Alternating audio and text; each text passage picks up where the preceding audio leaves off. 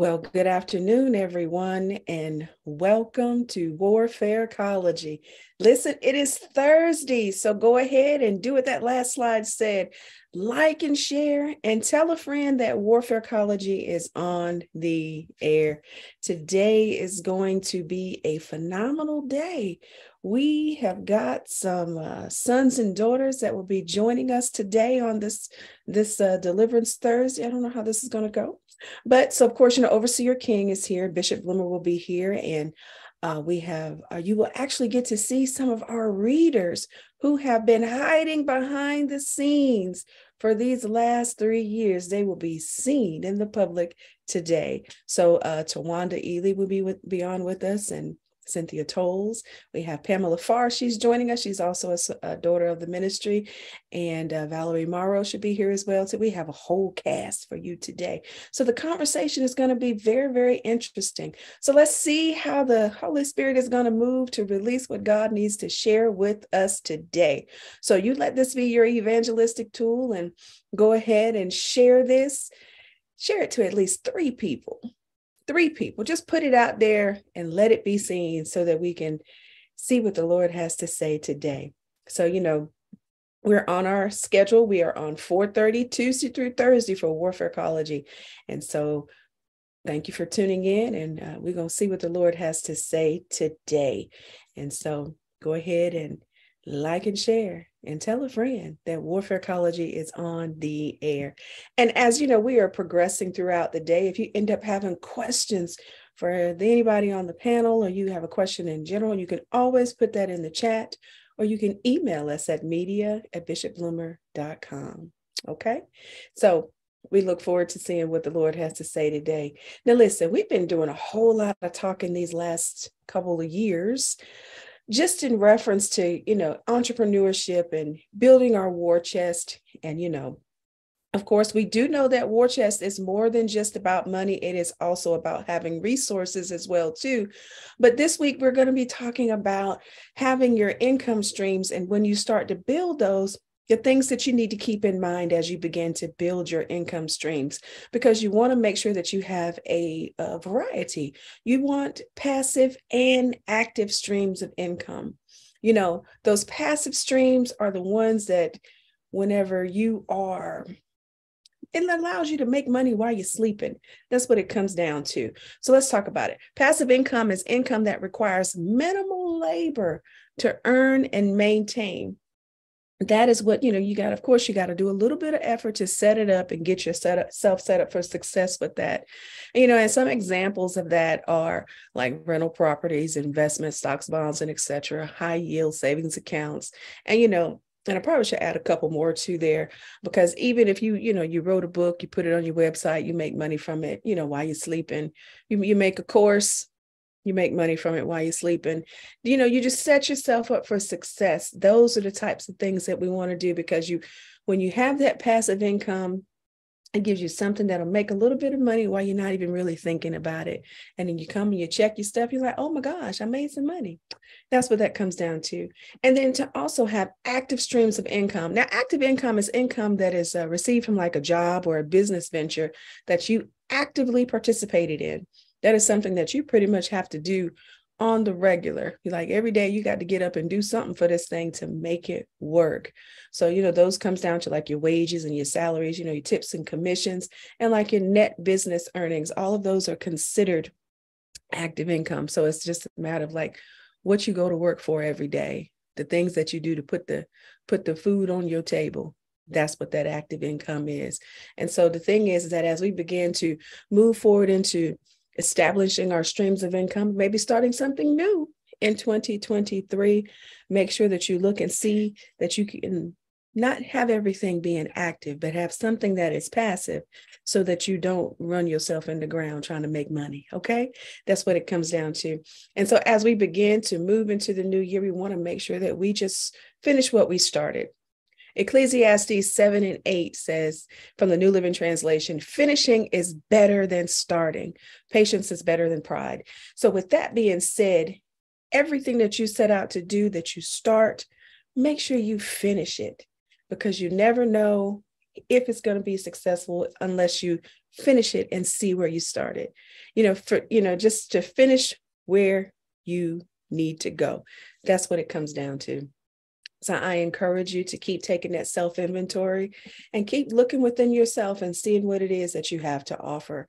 Because when it comes to those uh, inventory, inventory streams, income streams, that self inventory is the best place to start because it allows you to deal with you and then allows you to see what you can do because you start listing all of your skill sets and the things that you know how to do that self inventory will help you to actually get a stream of income that will probably allow you to start a business with little or no money out of pocket so that you can move forward. Okay.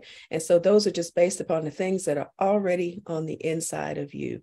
So get your new streams of income up, start a new business venture in the new year, and whatever you start, finish.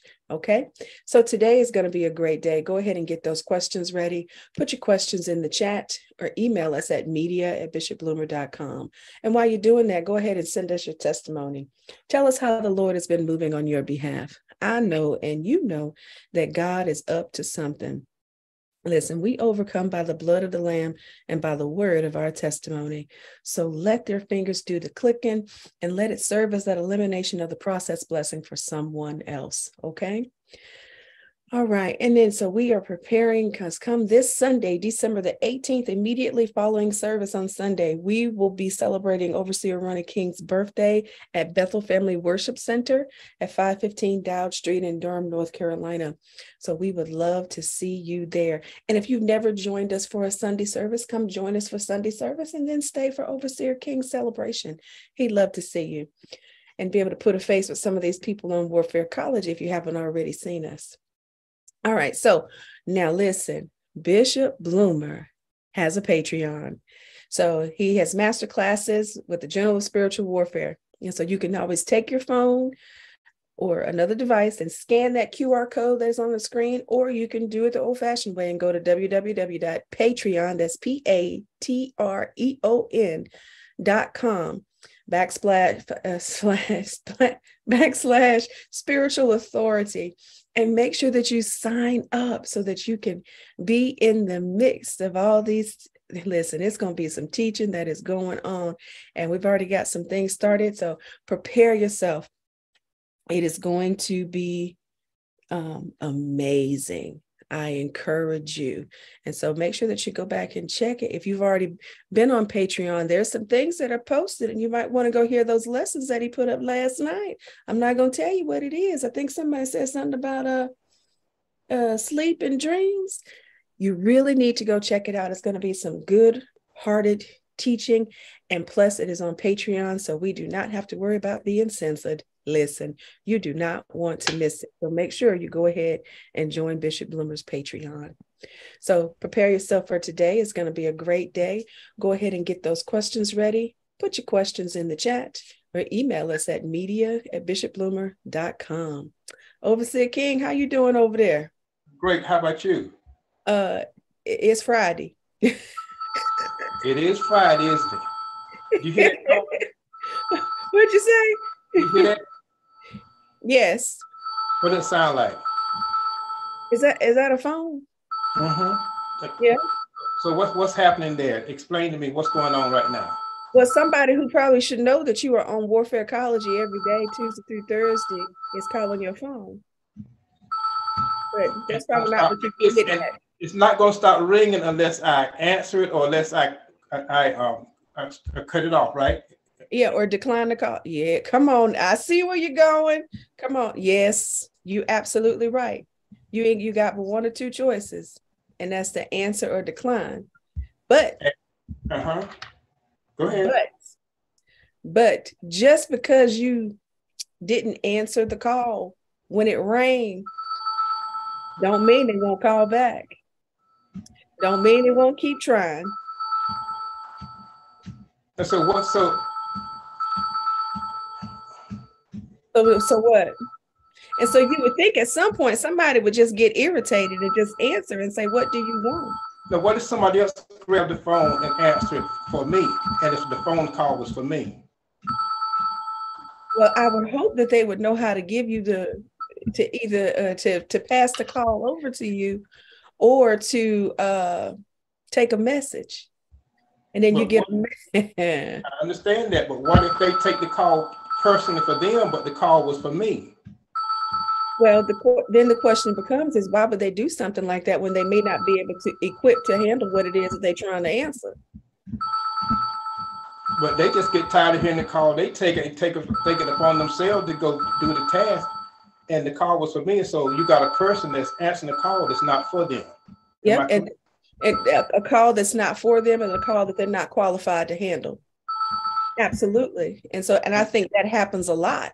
Mm-hmm. That, that people, you set me up, that people will answer a call and then not even really know what they're truly getting themselves into just because they see or or what somebody else did you know like oh well they did it it ain't no problem i can do it for them it's no problem but you know you just don't have the right equipment to do so and i'm gonna need you to stop that phone from ringing because it's really getting you know it's like we got to do something about this and, and, and isn't that what happened in real life absolutely all the time all the time it happens. And then somebody just they be like, you ain't gonna answer the phone. You're not gonna answer. But see, somebody could be sitting there watching your phone ringing and knowing that somebody is calling you and mm-hmm. telling you that you need to go ahead and answer it.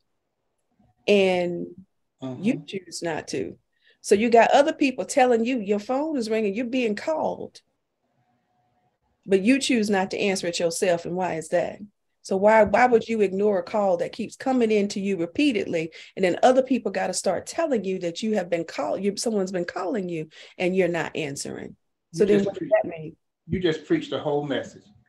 And see, when I there is a, a the caller ID on it, so I see the call. It says God is calling you, but I'm not ready to answer that call right now. You see what I'm saying? It, uh, I said, well, nah, this is you know, God is calling me. It's gonna be something. First of all, it's gonna be something that I probably don't want to do it's gonna be he's gonna be asking me to sacrifice something I don't want to sacrifice. He wants me to give time. I don't want to give it to him.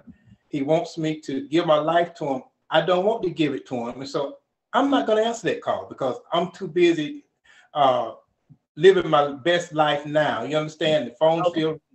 But do you know what?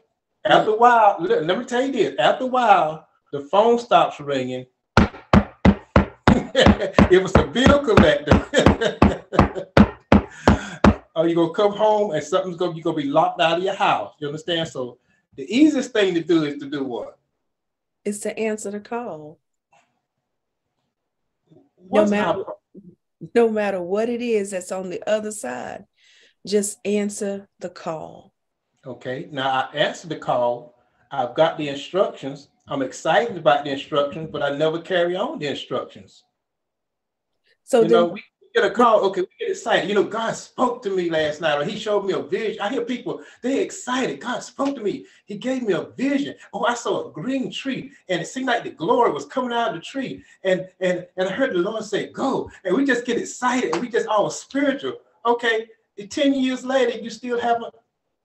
you know, but you but see that's the thing you know a lot of the times i you know we we have learned a lot about getting a word from the lord these past three years we've been on warfarecology and i think you know sometimes we end up responding to stuff like that because we are still let's be honest babes in christ. Uh-huh. and so get excited oh the lord has called me to do this and do that. And then but 10 years later we still haven't done it because once we venture out and start trying to do it we realize it's a whole lot more to it than what we thought and it's easy to get excited, but it's harder to walk it through.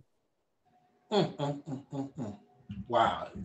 You see, that, see, see that's, that's what's going to happen on New Year's Eve. you're going to get a word, and you see how you went through on that? You understand? From beginning to end, you didn't pause. And I mean, and it's and you didn't know I was going to do this. Uh, no. That's what I'm yeah.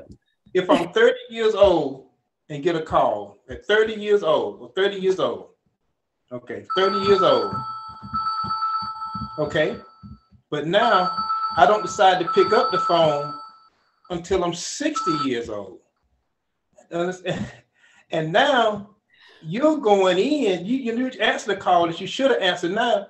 The strength that you had when you was at 30, you know, even now you're at 60, you can answer, but you don't even have to you understand it's a different, this a different age, a different time. I mean, talk to us about that a little bit. I I I, I ain't got no comment. That, that that's a whole nother ball game because mm-hmm. there's there's a lot of people who are like that though, you know. And even even though they may have answered the call when they um you know when they were younger, mm-hmm. but they didn't didn't find the need to actually respond to mm-hmm. that call and to do what it is they were supposed to do until they got older. And so now you can't identify, you don't have the strength, you don't have the gumption, the fortitude, and stuff like that to do what you truly need to do. So then at the end of the day, now you're in trouble because you will be held accountable for what it is that you did or what was given to you. So now what? Yeah. So even though you decided, okay, well, you know what? Uh, the Lord had called me when I was 30, but I, am 60 now and I'm ready to preach. Mm-hmm. Okay. Wow. So it's all about what it is that we do because during those course of the years, you know, of course, everybody has decisions you know we we all can make the decisions and we have choice you know free will as they say mm-hmm. on what it is that we're going to do but you know eh, sometimes people are in positions and waiting on somebody else to get to where they're supposed to do be so that we can all move forward. Because every part supplies the whole. It doesn't matter where it's coming from. And i think mm-hmm. that sometimes people and then this is my opinion now you know me and my opinions. I think sometimes people will will procrastinate on some of the things that the Lord has told them to do. He might tell you, you are this, and then they don't move on it and they sit and they wait because to, to move on it is uncomfortable. Mm, mm, mm, because wow. it's easy to stay in a place and be comfortable. Yeah, I'm called, I might preach a little bit here and there, but the Lord said, go forth and pastor. Uh-huh. He tells you that, but then you don't move to pastor or don't move in any kind of capacity. And it's like, but you know, but I'm, I'm still doing the work of the Lord. No, you didn't do what he told you to do uh-huh. because you were comfortable in where you were. But the thing is, is that a lot of the times I think that, you know, we are in situations like that where the people that are connected to us, they have to, we have to move so that they can move too. So they can move too. You know. Wow. Now, That's what happens when you get a call and there's static on the line and it seems like the call is not clear. Do you think a lot of people are they're, they're not clear what they're called? You know, maybe God is speaking, but because on their end there's so much um, clutter or whatever that God is speaking clearly, but because of what's going on in our life and in our mind that we get well, wrong messages. Well, I think that whenever you hear like a lot of confusion and clutter and stuff like that, mm-hmm. God is not the author of confusion. Mm-hmm. So knowing that, you know, he don't operate like that. Yeah, he might he might speak in a few riddles and fables and tables, whatever you want to call them. But as far as confusion, he don't do that. So right. when something like that is happening, that means that there's other things that are at play. Mm-hmm. That means that there's some kind of uh, since it is Deliverance Thursday, some kind of demonic force or spirit or something that's coming up against it. And so a lot of the times when we find ourselves going through stuff, and stuff it seems like it's out of place. And it's like it's confusing and stuff that we really really need to take a moment and actually step back and say hey what's really going on here? Mm-hmm. because that right there that's meant to distract you is a distraction to keep you from tapping into your destiny and fulfilling your purpose. All right now. Okay next. right. let's talk about people say um, well when god called you it wasn't a conference call. Let's let, let me let me reiterate that. Uh, let's say god called you and then you know you have the prophetic people around you that hear it also you understand? And and then they'll come and they'll confirm it because when he spoke it they heard it in the spirit. And you hear it and and they're able to confirm it. That, i think that's that's a great thing right there you, you know yeah. because it's good to have it's good to have confirmation. People say well no what's the conference call? Yeah i understand that but people your spiritual leader hears the call. You understand? Right. and, and your midwives God appointed midwives hear the call, and they may not say anything because it may not be their authority to say anything, but they're praying and they're interceding that you mm-hmm. answer that call and be corrected. But your spiritual leader heard the call too. Now, you know what I'm saying? So, so the two or three witnesses, let every word be established. So you know I'm getting ready to throw a monkey wrench in what you're saying. So okay. at the same time, though, so what if you say you are you heard God called you and your midwife is, you know, not saying God called you, but your midwife is listening while you are sitting here trying to birth this thing. But then what you think you're trying to birth is not really what what God called you to do because mm-hmm. your, your spiritual leader says something different. How does that work out? Or your spiritual leader doesn't even recognize it. How does that work out? The call that God is really calling you, your spiritual leader doesn't recognize you? Mm-hmm. Okay, that's a question we need to put on the floor. because go ahead. I mean, I mean, it's interesting because I mean, I've heard people say it before. We've we've seen people come up into chats that people have sent questions in on Warfarecology, talking about that as well too. That you know, I feel like I'm called to do this, but my spiritual leader doesn't. um mm-hmm. You know, doesn't, doesn't believe. Just like, just say if you're in the church and you get a call, and your spiritual leader doesn't even believe in women preachers or women, Absolutely. whatever now, what do you do in a situation like that? God, now God knowing He was going to call you, God knowing that you was in that place. So why does He put you in a predicament like that and call you in a situation? Is it something that God wants you to learn in Absolutely. that situation? Absolutely, because just because you are in a place that they may not believe that, maybe you're in that place because you're the person that's going to effect change in the place that you're in, or it could be that what you're there for is the covering. And that even though they may not believe in XYZ, that person is still like your spiritual parent. Mm-hmm. You know, mm-hmm. that's just like you don't disown your daddy because, you know, you don't like mm-hmm. something, but you know, you disagree about something. You still have to take it that way. So that's when you really have to, and praise the Lord, they go to Bishop. This when you really have to stick the face of the God and figure out what your directions are. Hey, praise the Lord, Bishop. How you doing? I think people find themselves in places that are the it thing or the popular thing. Whose phone is that? That's King. Yeah, we was talking about the call, answering the call. So that's I had that phone on as a uh, oh. illustration. Oh. Well, go ahead and answer it so I can finish. okay, it's it's finished. Oh, yeah, uh, uh you know, um, you, you know, a lot of times we try to make excuses for a lot of things. Um, um, how I know that a person is not supposed to be someplace is predicated upon the word of the Lord. Mm. That's how I know whether you're supposed to be there, you're not supposed to be there. Okay. So now make a case for this. You in a church that doesn't believe in women preachers, mm-hmm. don't believe in women preachers, you feel that you were called to preach. So you're there frustrated. You're trying to change the system because you know that God called you when the word of the Lord says that you're not to build on another man's foundation. Get your behind out of there. There's enough places for you to go for your ministry and your call to be celebrated. Let's go. But we go back and we say, well, maybe the Lord, maybe it's always maybe, maybe, maybe. Why do we have to maybe what God said? Do you think God is a maybe God? You think he don't know what he's talking about, what he's saying? Uh, before anything happens, before anything happens to you, it already happened with God. Absolutely. He knows the outcome before it began. Before, before, I'm sorry, before it starts and and and and, and that's a um, that's a serious thing. And so um a, a lot of things are like that you know uh, uh, uh and if you are called to a place and the uh and there's quite a bit of opposition in that place that you are in if you're truly called you're not frustrated. Mm. that's right. You're anointed for that task. Not being able to take it worried that people don't call your name. We're dealing in we're dealing in the anointing of the ego and not the acceptance of the call. And that is very, very serious. Come on. Welcome to Warfarecology. Today is going to be great. It's going to be great. It's going to be great. It's going to be great.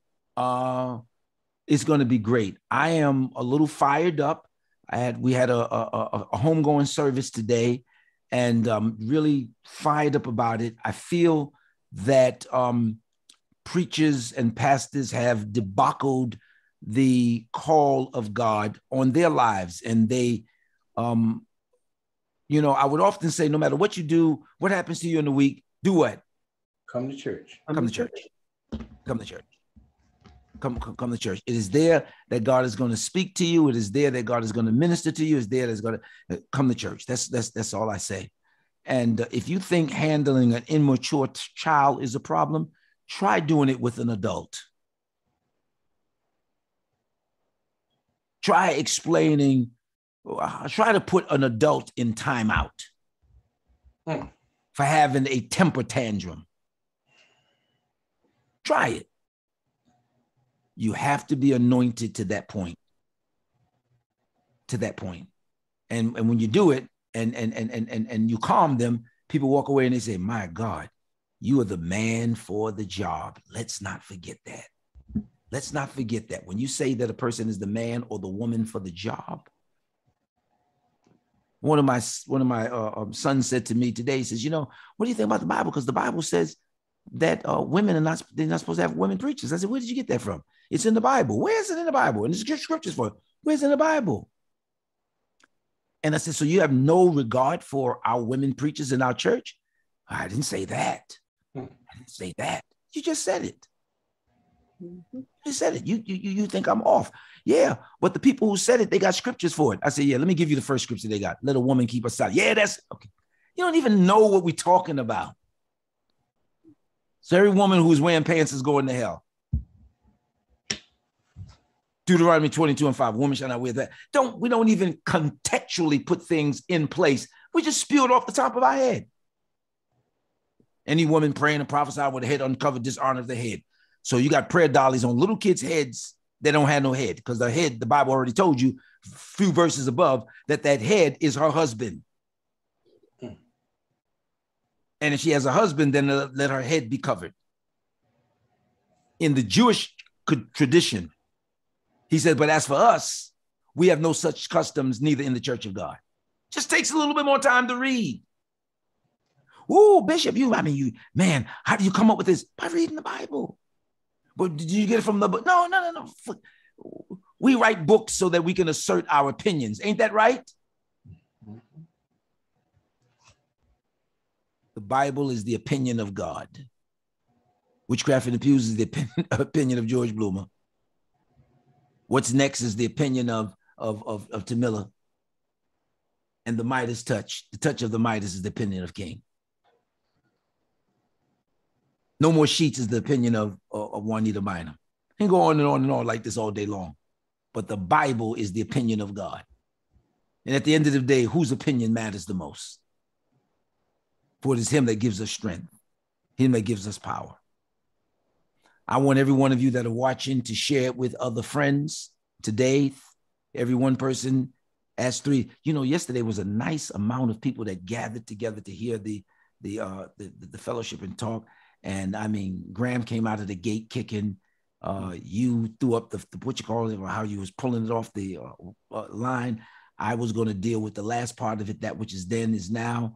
Uh, uh um, uh, Malachi, her scripture for the day was that uh, Adelia was brilliant yesterday. Brilliant yesterday. You know how she started off?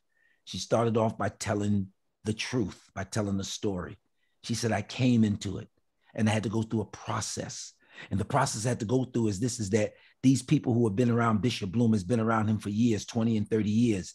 I had only been around for three years, expecting the same type of access that they that it took them 30 years. That was brilliant, y'all. Come on. And it's and, and, and, was a level of honesty that is that that that is pouring out. So you can lift your hands and say, There's hope. You know, there's hope. And when one thing was spoken about, I asked Elder Daniels to come back on because I know that Elder Daniels has an opinion. And I wanted to know what her opinion was on that principle. Do you remember what the principle was? No. You remember what it was, King? It was something about Baxter.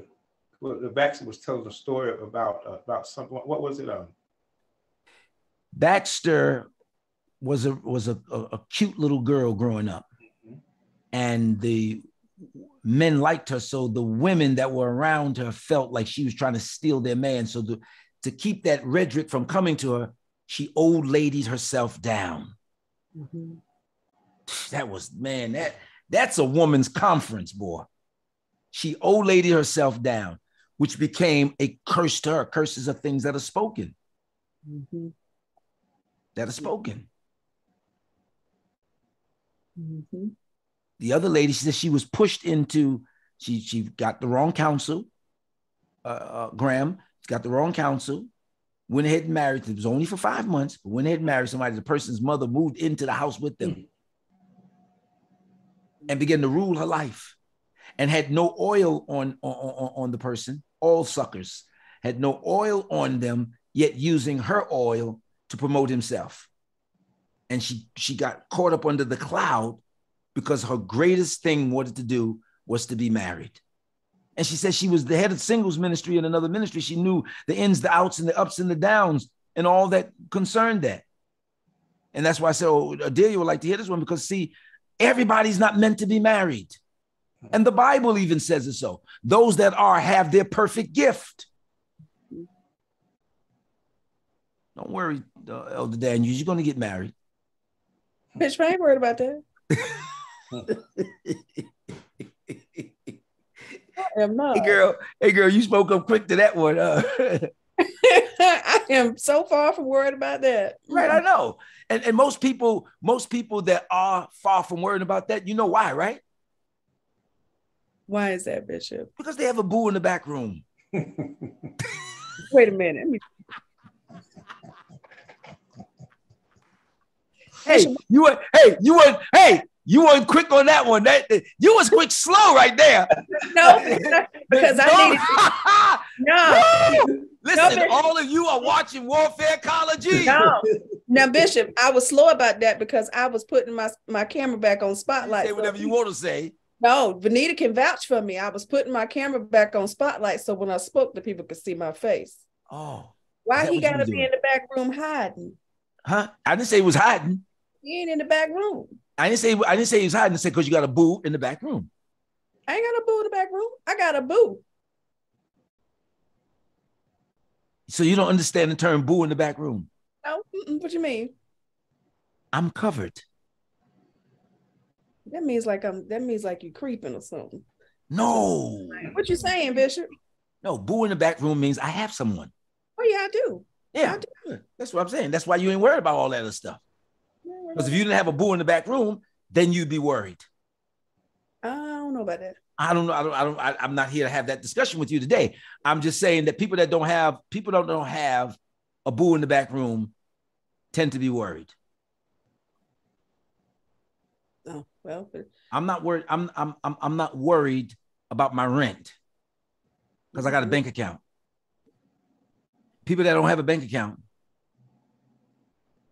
tend to worry a little bit more than people that. That's the point that I'm making. But now, King, you bust out laughing, head all down and everything. Why? Uh, y'all's y'all's interaction there because that that, that, that uh that little pause on the second question. We, I mean, Listen, it made, Tamila, it, it made perfect TV. because Tamila's not a person. If you say so- that she's gonna sit back and get, you know, she's gonna come out the stall. But when she Yes, did, when she did, Listen, that's what. she she got a word before you even get started. You be saying she be she ready. so so what so what got me? I don't care if she was fixing the camera, or whatever. What it what got me when that pause came, when that pause, when that pause came. Thank y'all for inviting me to the pre-show. I'm turning off my camera. Thank you, Jesus. Uh, thank you, Jesus. I don't hear I, I I don't hear you saying nothing, Vanita. Yeah, because I, I stay in my place. I'm not part of the pre-show. but if you need me to put up the giving slide, I got you. But listen, but what's what was that transaction beautiful for for for, for, t- for today? It was. And we need a lovely laugh after a funeral that we went through today. yeah. You know, yeah. Wow. Oh, yeah. Cheers. Woo. All right. Um, I'm asking seven persons, one, two, three, four, five, six, seven persons today to sow a seed of 133. Seven to sow a seed of 133. Seven to sow a seed of 133 in a sacrificial posture. That means I don't have it, but that man spoke it. I've seen miracles take place by the things that he spoke, and this is what I'm going to do in the name of Jesus. Okay? In the name of Jesus. How many days left to this year? maybe about 15 or so. 17. 17? Mm-hmm. Okay. I think we're sitting at about 16 days. About 16? Okay. 16 days left to this year. Okay. I want those of you that are watching and you in the greater Raleigh, Durham, Creedmoor, uh, uh, Burlington, Greensboro area, come and fellowship with us on New Year's Eve from 10 from from 10 to 12. It's going to be a great, great time in the Lord. All right, uh, King, who are our guests? And uh, uh um, uh, uh, let's do our challenges. I'm believing God for seven persons at the end of the program. Seven persons would have given one uh, $133. That's the challenge that I'm asking for today in the name of Jesus.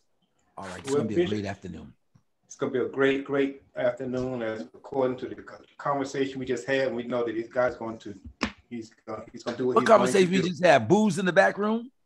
Booze in the back room and answering the call. And, I can't say booze. It's, it's going to be great.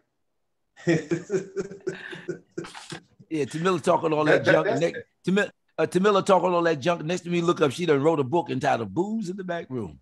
Booze in the back room. Uh-huh. Covers and everything, cover already done up and everything like that. No, it, it wouldn't be nothing about booze in the back room. It'd probably be like dating over four, after 40. That's a boo in the mm. back room. Wow. Mm-hmm. That's a boo in the back room. Wow. Because yeah. it's different. Yeah. It's different. Mm-hmm. Wow. In a different generation. Hmm. No, it's it's different because I'm different. I ain't the same person at 40 that I was at 20. It's, it's it, we have a, you have a whole different kind of conversation. Your conversation that you have at 40 is a okay, what's wrong with you? You got high blood pressure. You know what your finances looking like at four, at 20. You just happy to be in love. You know what? I'm going to take that back, and I'm going to write the book "Booze in the Back Room." Hmm because that's a very very good piece there you know the things that you're discussing at 40 you're not discussing that at 21 mm-hmm. you know you're not trying to go to uh, run out to the club and have drinks you know you're not trying to go to the skating rink and what's the next movie you might go to the movie but if you go to the movies your movies might be during the, the day and not late in the night different things yeah okay let's not go there all right well. wow well you ready, Bishop? Yes, I turned it over to you. Mm-hmm. All right, we get ready to take off. Everybody like your seat belts. If you you know you're sitting near aisle, make sure you help somebody. If you know they said when you get on a plane, make sure you're able to help somebody so we can ready to take off. And this plane is about to take off. Tawanda, Mr. Uh, Tawanda Edie, Minister is Minister Tawanda Edie, right? It's correct, Minister. Yes, Overseer. Okay. How are you today? Um, and I'm you and you are and you are looking you're looking beautiful today. Thank you. Yes. Thank you so much, Bishop. You're welcome. Yes, yes, yes, yes. Give us your opening statement and your offering challenge, and we go from there. Okay, my opening statement is this. In the world, we all want to be the president or the CEO of a company. We want this without going through the ranks and responsibilities of the position of a president and most start out in an entry level position. This station is the lowest and least paid, and no one wants that. However, this is the opposite biblically. This is best shown in Mark chapter 9, verse 35, when he said, He sat down and called the 12 and said unto them, If any man desires to be first, the same shall be last of all and servant of all. Jesus came to serve, not to be served. So ask yourself, did you just get served or are you serving? And my uh what was the other thing, overseer? Offering offering challenge. Thank you. Got a little flustered there.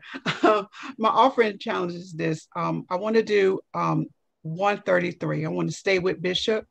Um, I will also be sending my offering, and I pray that everyone who is called to be a servant go ahead and make that um that gift and sow the seed of 133. Amen.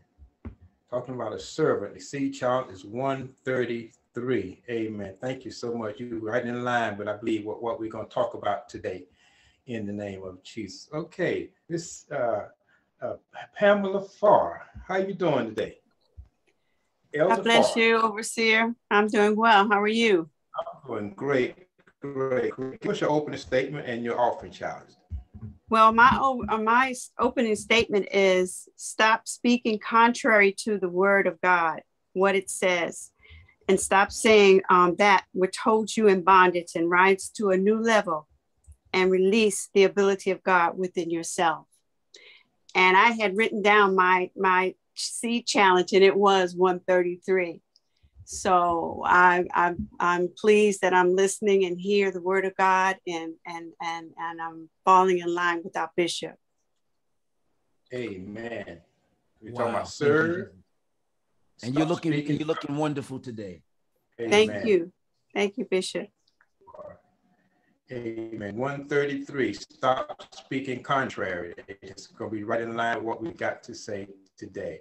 Elder Cynthia Toes, how you doing? I'm well, Overseer. How are you doing? I'm, I'm doing great, great, great. What's your open statement and your seed challenge today? My opening statement is uh, out of Genesis. In the beginning, God created the heavens and the earth. And then it was dark, it was formless until God came on the situation and shed some light. Then everything changed and he called it good. And my my seed challenge is $103.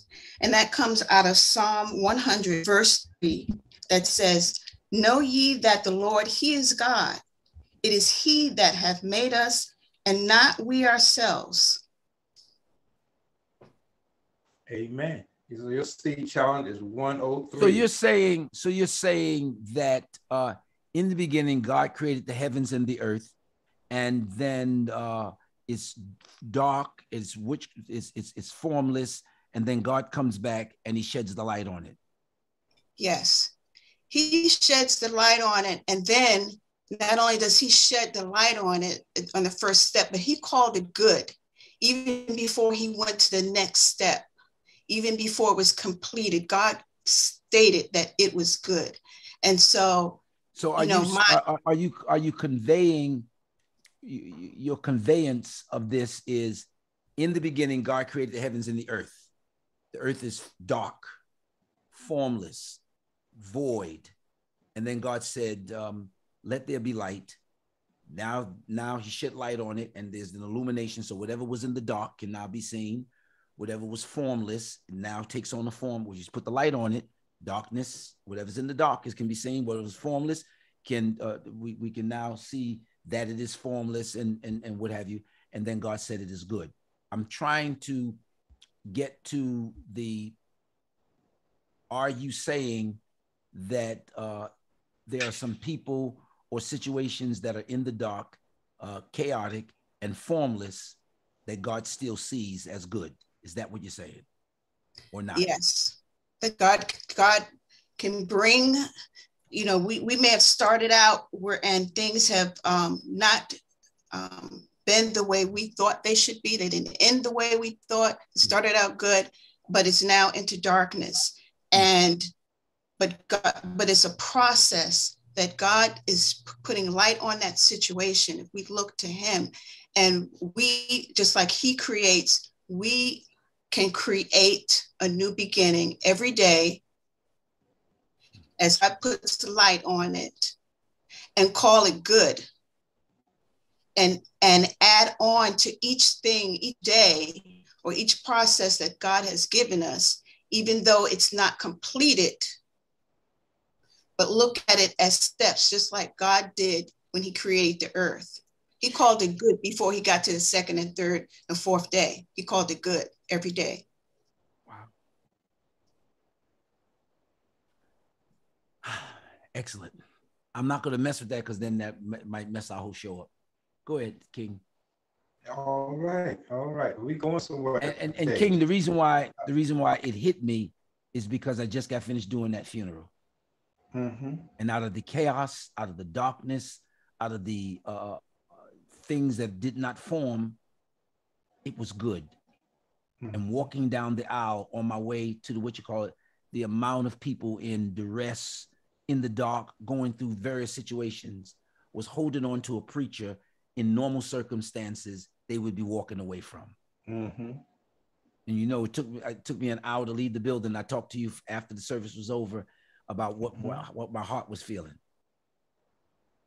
Amen. Mm-hmm. Great word, woman of God. Yes. Amen. We going somewhere. Elder Brian, uh, give me your, your last name. I didn't write it down. Brian um, Jones.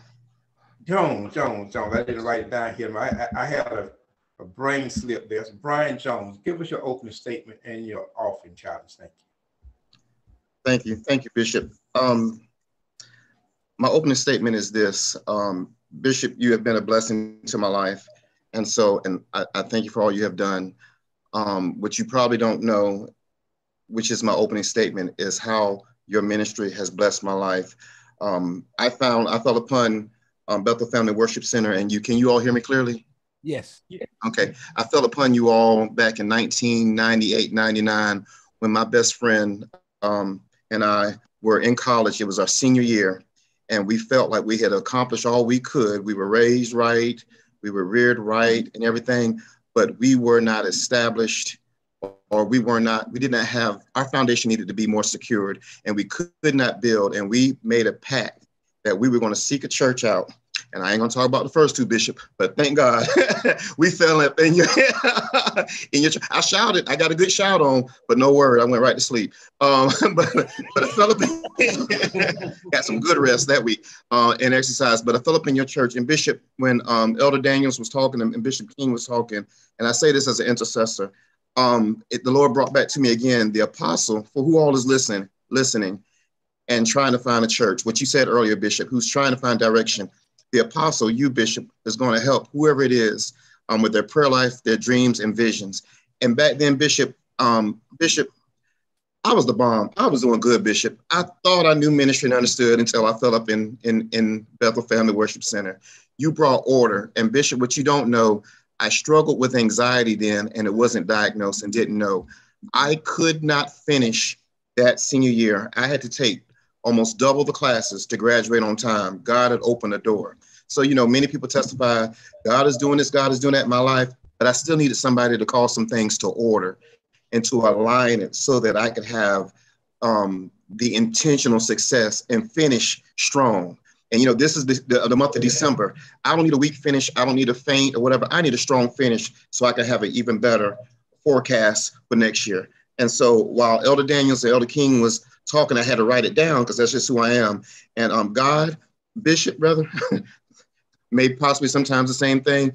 Bishop, I can't wait to see what you're going to do next year because even for the prophetic decree that's coming um, that that we have later on, uh, Elder King, um, text me if I'm if I'm out of order. But Bishop, the Lord already laid on my heart and said that He's going to bless your projects next year. I don't know what all that meant. I didn't know anything about Patreon. That was two weeks ago when one of the elders um, said what they said to me. So I say this for my opening statement. Although I am educated, I stand in awe. I have to sit up under bishop for my life to be effective for things that I can't quite understand, no matter how grand the visions are and the dreams. I have to sit under an apostle for my life to mean something and for it to have record. Because I say this, Bishop, I say this to a lot of people who think they're so deep, and they are people who are so devout, and they are. But you know what? I don't ever have, if I miss God, it's all right because God will never miss me if I stay in a position for Him to check me, to send me, and to correct me. So, um, Bishop, that is my opening statement. Um, yesterday during the program, when you all was talking, I don't know what prayer life. I didn't. I didn't text Elder King because I wanted to stay in position. But Bishop, I kept seeing clouds. I kept seeing clouds rolling. I kept seeing, and I've, I've never seen that many times. So I'm in between Exodus and Isaiah. Exodus 13, when the cloud went for them by day, the cloud at night. And Bishop, you know the text just as well as the rest of us. We all know the text. Come 14, an angel intervene, and you talk about stuff like that all the time. When we get to Isaiah 41, it talks about fear not. That was one of our prophetic decrees. The enemy, you talk about it all the time, the enemy that's been messing with us. Um, it says he's going to check all your enemies. He's going to check them all, and he's going to make you a threshing board which is ironic because the last two weeks you've been talking about, um, your guests have been talking about unusual um, weapons. And then today, uh, Elder Daniels opened up talking about finances. So I will read, read that scripture, Isaiah 54, enlarge the place of thy tent and let them stretch forth the curtains um, of thine habitation. Spare not, spare not, prepare, spare not, prepare, lengthen thy cords. That's me, that's me ad libbing, I'm sorry. But um, spare not, lengthen thy cords and strengthen thy stakes. For thou shalt break forth on the right hand and on the left. Thy seed shall inherit the Gentiles and make the desolate cities to be inhabited. And regardless of what degree you may think you have, whether it's formal or informal, whatever degree God has blessed you with, going back to the original, He sent a pillar, a cloud by day, pillar of fire by night, to the point that some theologian says it was X-ray vision. You don't have to understand. All you have to do is keep following God, hear the voice of God, obey the voice of God, and you're going to end up in a, in a better place. So my seed challenge, Bishop, um, is 122 because when I add 13, 14, 41, and 54 together, I get 122. Now my seed was lower, but that was a comfortable seed. That my seed challenge is 122. Amen. Bless you. Bless you. You know, um, I really, really feel it in my spirit that there's going to be a breaking forth of a dam. That so much has been held up and and and, and held back. I was laughing with Elder King as we, I was coming to the studio today, and I said to him, I said, you know, we're doing okay, blah blah blah blah blah. And we laughed for a few moments, and so he said, "Thank you, Bishop, for something we do that." And um, and I said to him, I stopped and I said, but we're doing okay. We're, we're doing, he said, yeah, yeah, yeah, really, really doing fine, but not as okay and not as fine as we're going to, going to do. And I think that 2023 is, I think that what's happened on Warfarecology, what's happened with the finances drying up, what happened with people moving the way to doing, all of that is a character, uh, a character stress test to see if we are going to stay in character with God mm. and not lean into sorceries and witchcraft and trickery and manipulation and game playing and smoke and mirrors, that we're just going to stay, be steadfast, unmovable. And the reward comes out of that. And while you was talking, uh, son, that's what I that's what I what, what I heard, and I heard it very, very clearly. Uh, a breaking forth is coming for those of us who have been faithful to God. And um, when it breaks forth in my life, the proof is in the pudding. It breaks forth in the lives of everyone who's around me. Thank you for that word. God bless you. We already see this is going to be great. We already see. Elder Valerie Morrow. How you doing, Elder? I'm Dr. doing well. Dr. Huh? Morrow. That's right. You talked about talk about educated folks, that would that would be me. I have plenty of degrees, and um, found out I didn't know a whole lot of anything until I came to Bethel. well, well, you knew about COVID. I, I did. I knew about COVID. I know, I know what I know. That's right.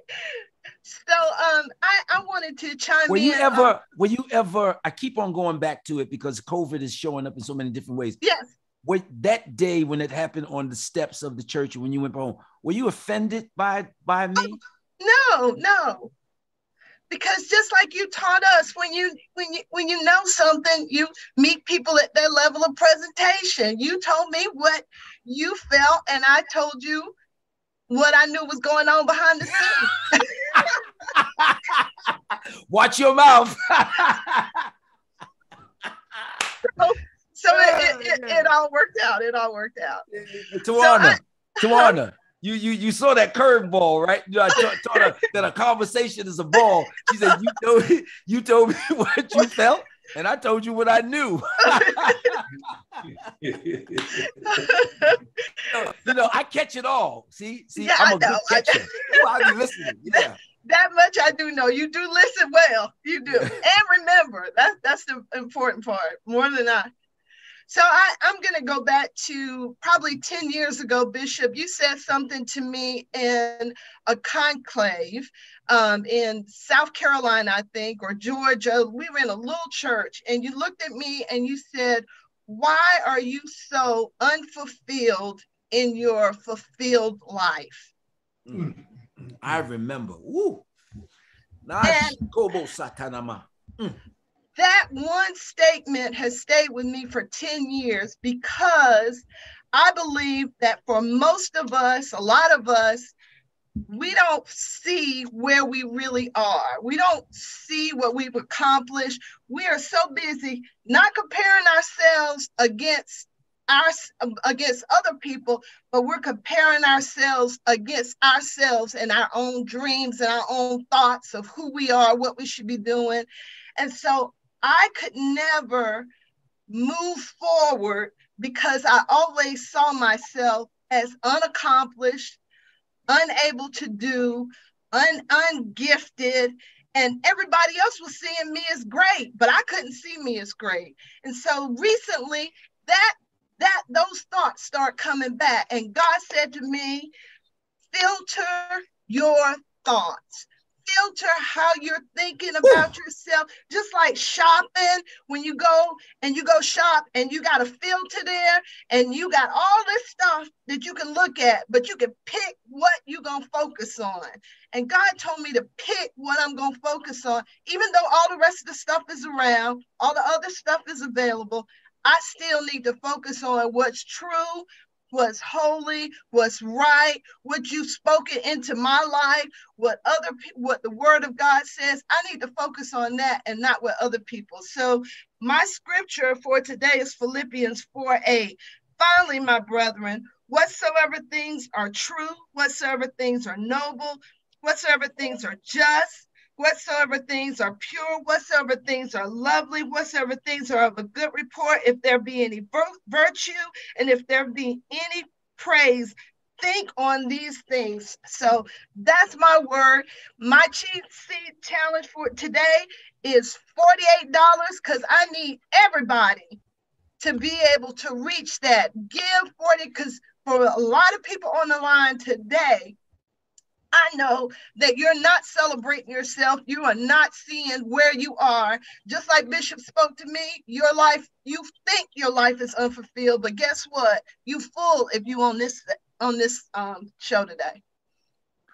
I want to I want to jump in on that because that is such a it's a marvelous marvelous powerful powerful thing and um I've had that same thought about several people. I remember saying that to you. And I remembered your manifestation that night. I remember your tears. I remember your your worship that night, how you just came apart. I remember that. But I've had that thought about Wilma Yellick, yeah. and I said it to her. I've said it to Wilma Yellick. I've had that thought about Vanita. I've had that thought about Tamila. I had that thought about uh, um, Akeisha. I had the thought about Keisha. I think that Keisha is brilliant, brilliant, brilliant. And I've had that thought. And um, Ecclesiastes chapter number three, the latter part of it says, That which is now has already been, and that which is to be has already passed, and God requires the past now. And you brought that scripture right back around to us that God is bringing us back to that place because something phenomenally great is about to happen. And at the same time, we don't know quite how to celebrate or pull in the fulfillment of it. And I remember when I had a discussion with Elder uh, uh, uh um, Elder um, Daniels on the matter. Of course, I didn't say to her, "Why aren't you unfulfilled in your fulfillment?" I didn't say it that way. What I said to her is this: is that procra- uh, uh, that perfection is an excuse for procrastination. That it's good when you did it. Well, what are you? Why are you fighting yourself on this? Move to that next piece. This is holding you here, and uh, you just you just cracked open something. You just cracked open something, and I think it happens more so with the women than with the men. But I'm going to say this: us men battle with the same thing. We battle with the same thing. Battle with the battle. If you if if if if if, if you if you're not celebrated, no matter how many gifts I give you, it's not going to resonate with you. Right. Yep. Wow. That is that that that is that is that. So I want to challenge, I want to challenge right now on that word that she just spoke. I want to challenge 10 persons with a seed of $48. Why? Because it's reachable. Mm-hmm. Why? Because everybody can't do 133. Why? Because in that four, which is open door, and eight, which is new beginnings, that God is going to open up a door of new beginnings for you. Yes. 48. 48. 10 of you. 10 of you right now. And I want you to just to put your name under it, just say, done, done, done, done. If you are if, if you've already sold today and you heard that word and it resonated with your spirit, sow again. The Bible says, sow in the morning and again in the evening, for thou knowest not which one. 10, 10 of you in the name. I have no way of, uh, I don't, I can't see what you're doing, but I want, I want 10 persons right now to defy everything that's with you, around you, near you, and I want you to release in the name of Jesus. If you're a woman in ministry, you're married, you have a business, uh, you, you, you, you, you, you are approaching the marketplace, whatever that is, step out on his promises right now. 10 of you, 10 is the number of a generation. 10 of you, 10 of you, seed 48, start doing it. When you do it, I'm when we get to 10, I'm going to pray collectively for those 10 persons. And I'm not a prophet, but the things I speak come out of the heart of God. 10 of you in Jesus' name start moving right now. Uh, Vanita, did any are anybody moving in the area of the 48? Yes, 10 sir. of you in the name of Jesus. I know we didn't put the ways to give up. Let's do that. Uh, dollar sign General of Warfare, Zelle Bloomer at bishopbloomer.com. PayPal me, GGB Ministries. Text to give, text Bloomer to 844 889 1559. 1559.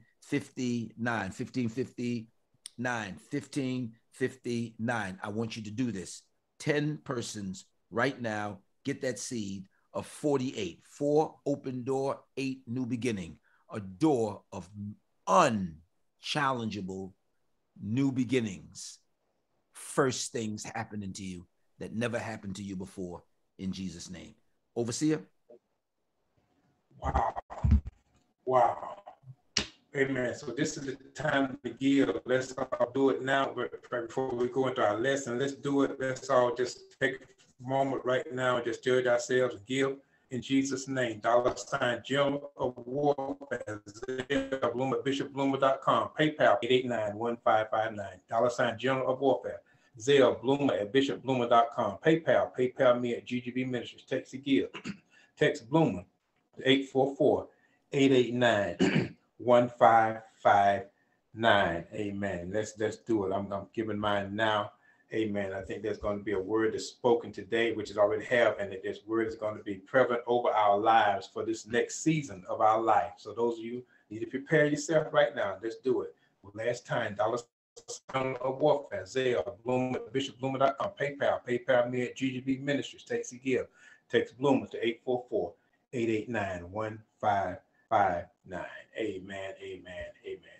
Well, Bishop, amen. You know, like I said, we've already started in a direction today, but I'm just going to just going to point some things out, and we can go in that direction. Most of us have come to Bethel at different uh, uh, points in our life, and um, you know, the Bible said John the Baptist was the voice of one crying into the wilderness, and then they went out to hear him. They went out to hear the voice, and so we've got. I want us to just talk about today uh, how God brought us to the voice that, He has assigned in our life. You know, we uh, we have a great general that God has assigned us to, and God has reached from the different areas of the country or the areas of the state, and He brought us to this place to whatever gift that he has in us to cultivate that gift. It was his choice to bring us and sit us in this ministry, and we're still here. And so we we see that all of us that are still here are flourishing in the gift because of the of the voice that God assigned over, and we didn't run.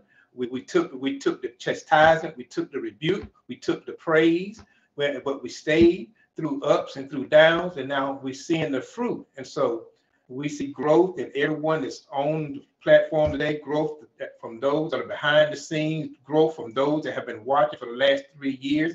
And so because we have been connected to the vine, amen. The Bible teaches to abide, abide, abide. And so we want to, I'll just talk about for a few moments, maybe one or two things. Talk about maybe you, the way that you came to the ministry, or you can talk about the gift that God has pulled out of you since you've been in the ministry and in your service in that area. And and so mine, it's, it's so long, I, I, wouldn't have the time to talk about the things that I was totally the opposite of what I am now. Totally, totally the opposite of I with this it, it, mirrors when I first came, what I'm at now mirrors nothing from what when I, when I first came is I mean and I just thank God because of, of, of, just being able to stay attached to what He's brought me to and to and, and, and the half has not been told.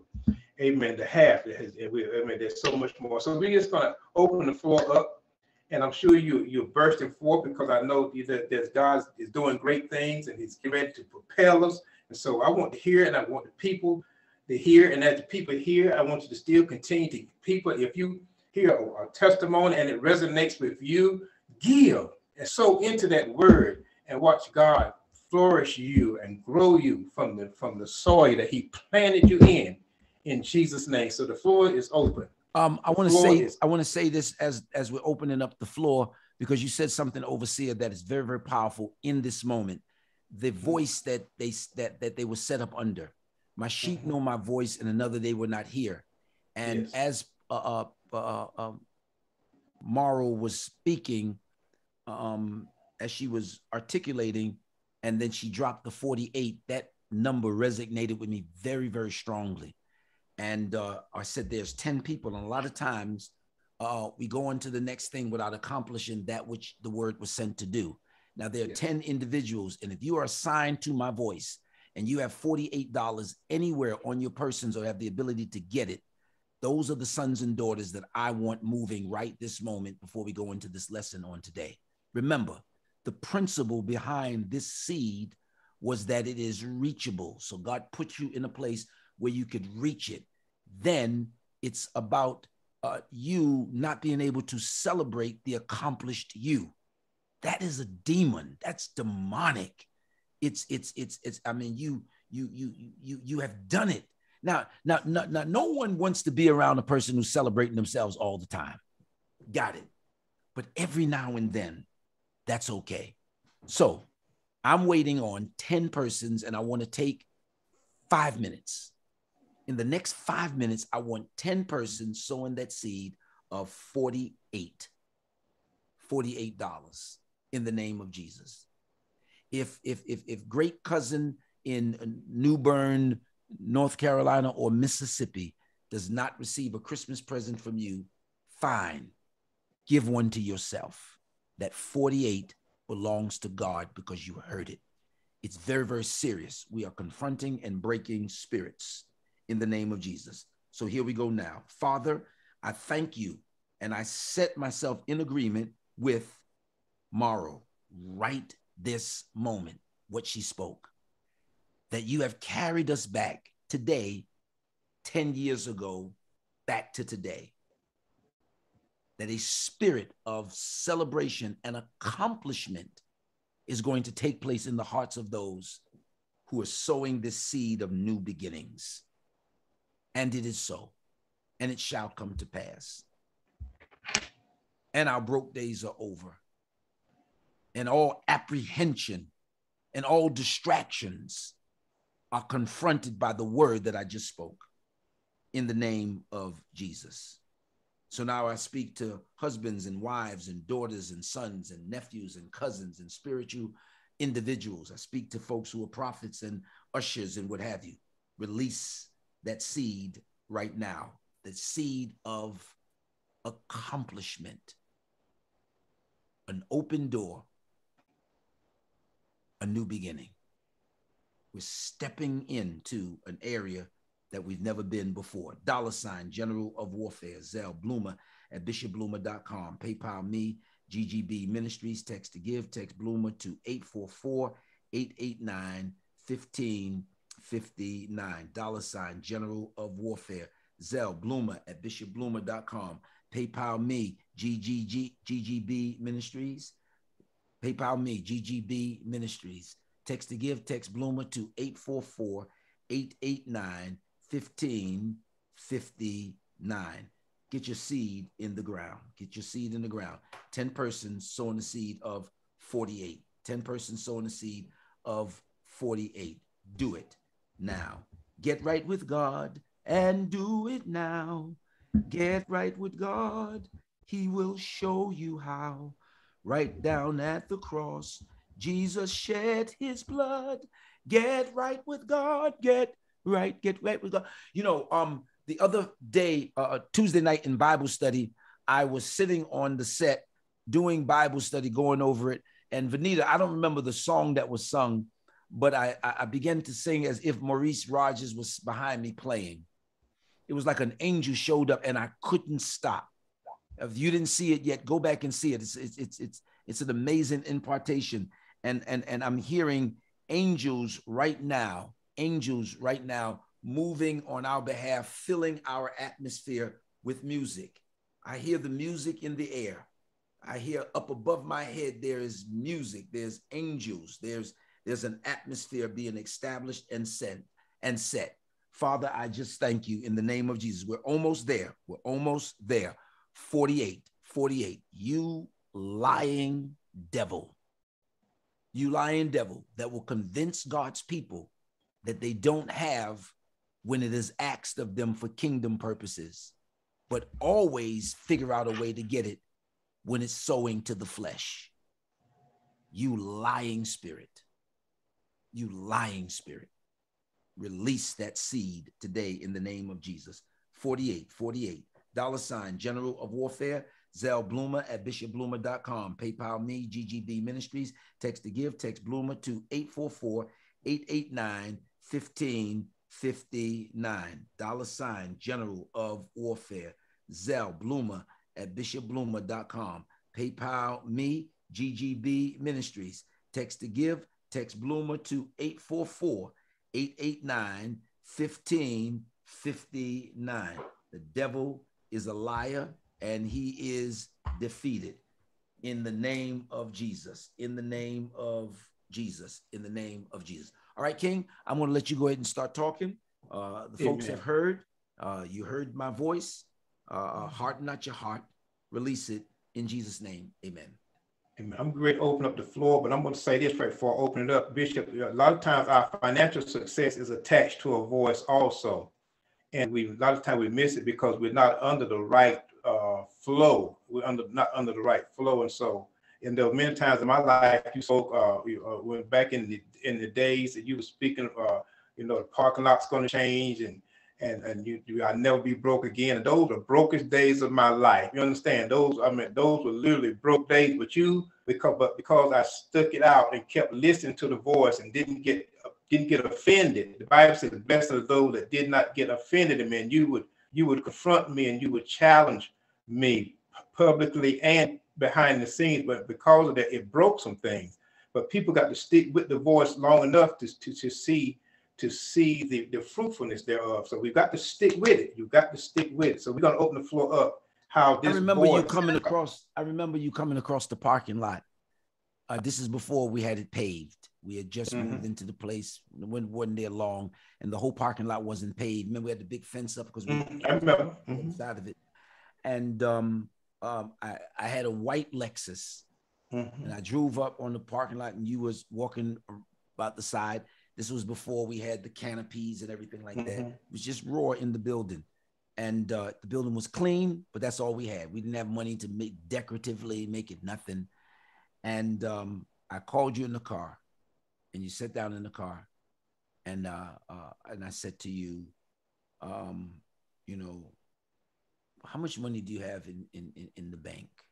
We had that sort of kind of conversation, and mm-hmm. I talked about I noticed that when you give up the offering, you it's, it's, always a dollar or two. How do you expect God to what have you? And I um remember saying to you, "Are you okay?" You know, I'm not trying to tell you off. I had to cushion because I was very very hard and and and and and and just if it came to my mind, I said it. You know, I, I had to grow too. Um, and um, you sat in the car and you said you're going to do better um, that which is now has already passed, has already been. And that which is to be has already passed, and God requires the past now. Do you know what it is to stand up and say, uh, 12 people is going to give a seed of $200? And you're the first one standing, walking across the floor. Do you understand the, the accomplishment that that is? Prosperity. Mm-hmm. And when you said that your finances is connected to a voice, it is. Mm-hmm. But the reason why it's hard to raise money in the church is because the shysters and the crooks mm-hmm. has desensitized people mm. to kingdom principles. And I just thank you for bringing that up. Yes.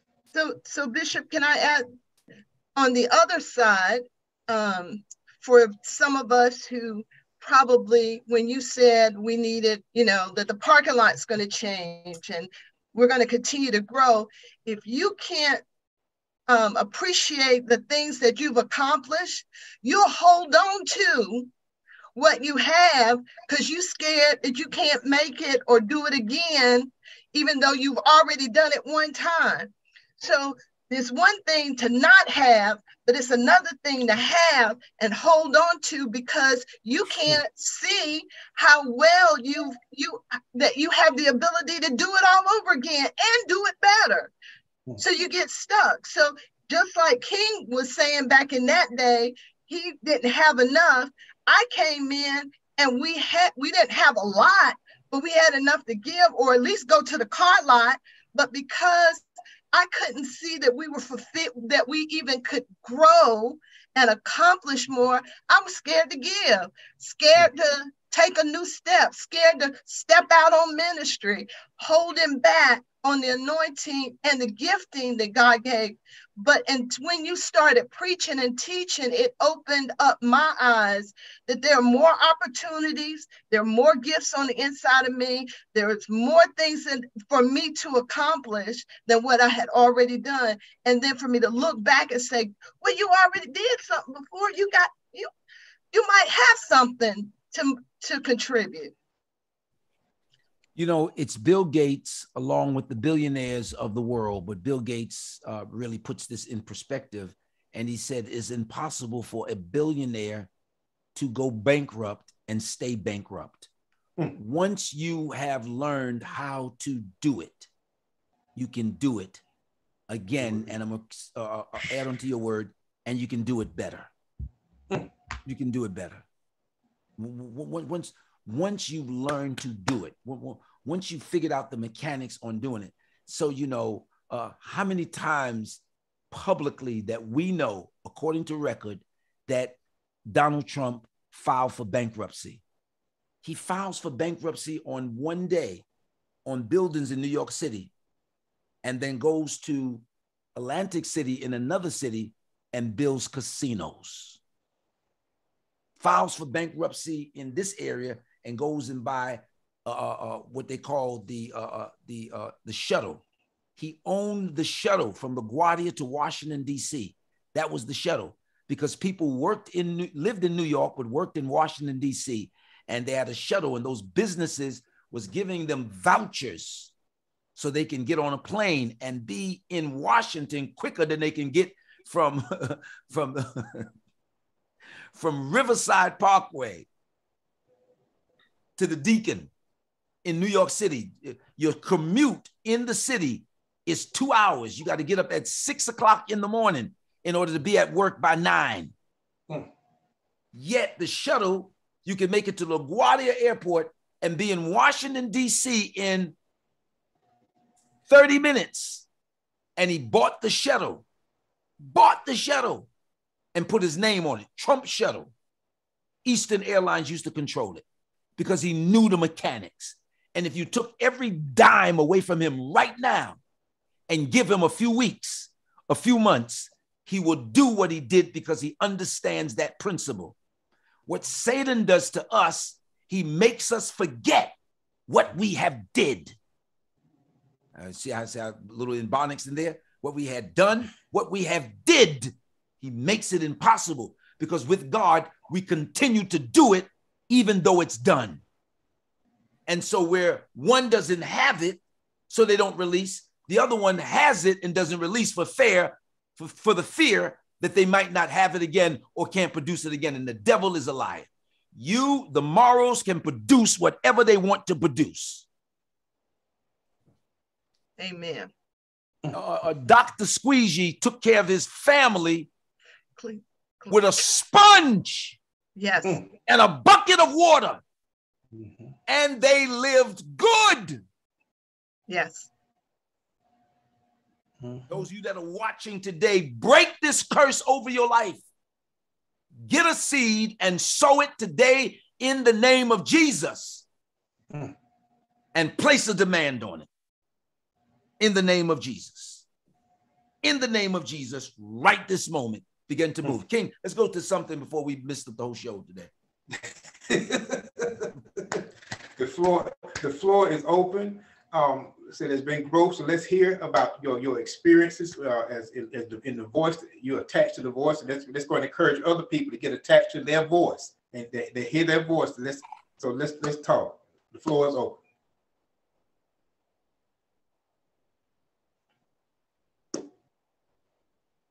All right.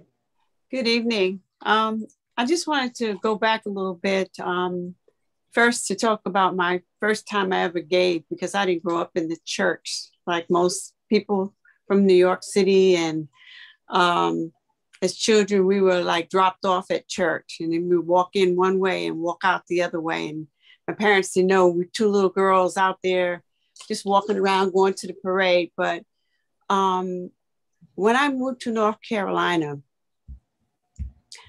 there was a time when I went to the um, safety club for the first time. Um, I wasn't religious. I didn't know about being saved or anything, but I always talked to God as a child from the age of seven up, having dreams, reoccurring dream, one in particular. And um, not out of my need because the $10 that I gave that night was not given because I needed, but was from the heart. And before I got home that night, not only did I get that money back, but it was it was 10 times that. And it was something that I, I needed, didn't know it was coming, but how that was the beginning of my understanding of who God was. And that has set me in a position where I know that money is a tool, but God's got my back. And that was the dream that I had reoccurring as a child when the um, arrows were hitting me in the back constantly, constantly. God was telling me, and I didn't learn this until I got to Bethel um, because of the learnings and the teachings that this was um, God saying to me, I've got your back. And many a times he has said that. So I think a lot of people, I know I'm not the only one, have been going through because of the demands that are going, not just from us, but from family members. But God has set us up to be in position for the many miracles that are already taking place in eternity. And they're going to unfold if we would just stop and listen to what we're saying out of our mouths and pay attention to those words that come to snare us and know that God has got this. So I, I thank God for that 133 that I did write down. Um, Bishop Bloomer, uh, I've said to you in the past before about how when we talk about connections and things like that, and it was the worst time of my life. Yes. Didn't know what was going on, was not saved, was uh, under the influence of uh, narcotics and drugs. And God showed me you. My God. But He didn't show me you as when I got to the church. He showed me you now. But He allowed me to see you from the choir um, when we were having rehearsal, the back of your head. And, and it just opened wide open that this was what I showed you that night when God saved me. He had saved me in eternity, but He revealed to me who you were. And when I finally realized these things keep coming, they keep coming because we are snared by the words of our mouth. And that could be true in the positive, that we're to continue to say what God has said about us and um, that we will not fear. And we're to trust God, trust Him with our substance. And so I'm in a place right now where everything that could hit um, from 2016, um, I, I'm that in fact just thinking about that man who treaded water, where they said he fell overboard from the ocean liner, and how he tread water. So, how do you tread water that long? It has to be by the grace of God. And so for me and myself, I feel like I have been treading water since 2016 for all that has hit my personal life. And I'm not the only one. We all have a story. Um, but um, it has shown me that God has always been there. And it's been miraculous. And I thank God that we all will have a testimony to give. So I'm I'm reiterating the 133, thanking God for showing me you. And the first time um, I heard about you was at the uh, what was it, the Fayetteville Coliseum, Coliseum, and you had a young man who came in, and you and your wife and your two little children, and you talked and you preached about how God slam dunk Satan out of out of heaven. I was like, who is this man? And, you know, tried to find you for a long time. So that was a long time. They were little kids. And of course, I was blocked, but God. And so a couple of times I was invited to Bethel and I didn't come for whatever reason, but I read and heard witchcraft in the pews and I knew where I needed to go. And so I got a, a, a, um, a prophecy from Myles Munroe at another church. I didn't know about names and all this, but I knew that this was from God and about the impartations that were coming to me. So that was like in 1996, mm-hmm. I believe. And so I didn't know what that meant. A lot of times people speak to you and they think everybody's churched, but we're not. But I, I researched things and I love the word of God because I knew there was power in words, period. And now we're talking about the word of God.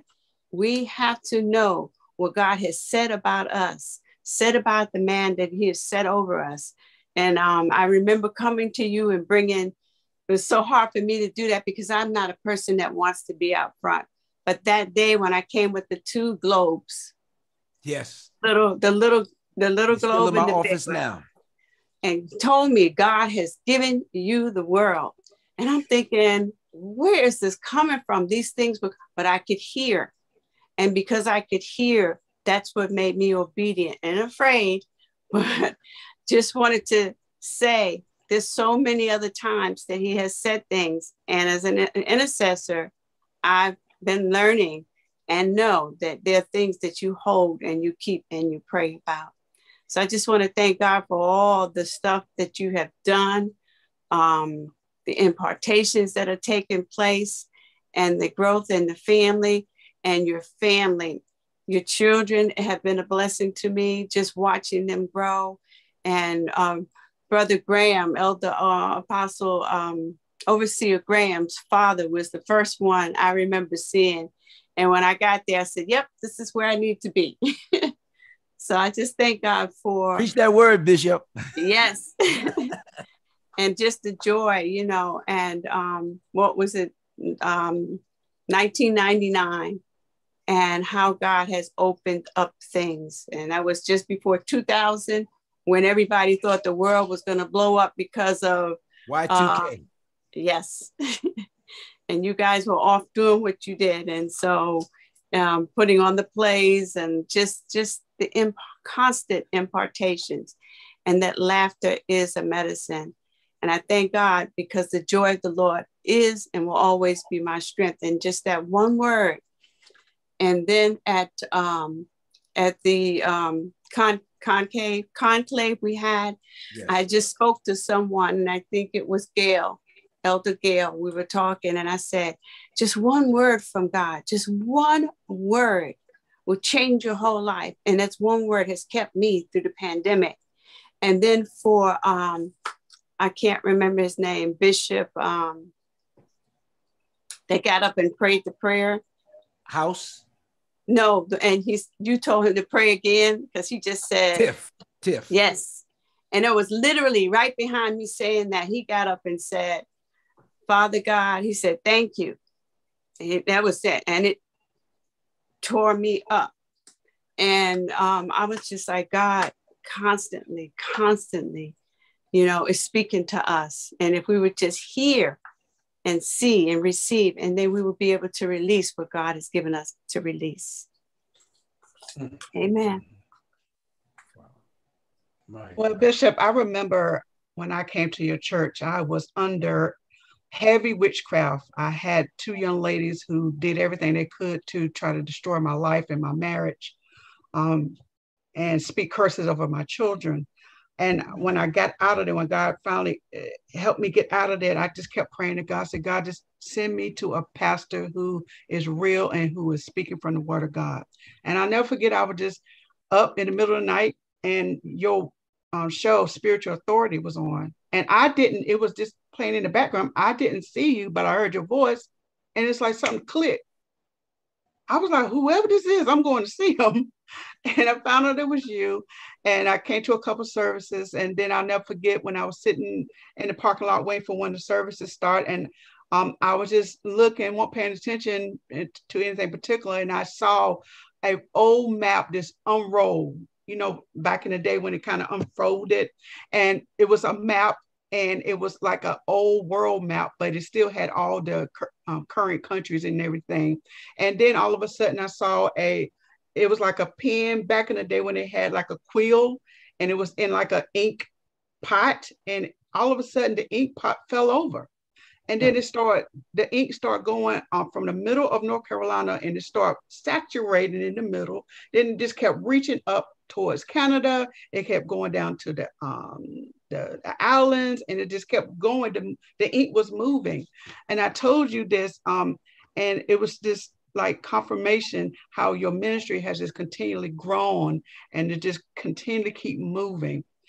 And you have been such an inspiration to me, and you've helped me in so many times um, many times um, that I actually kind of just walked away from the church. I actually physically left the church. I would send my children and my husband would bring the children, but I didn't want to be involved in it. It wasn't with the church that I had issue with. It was other issues.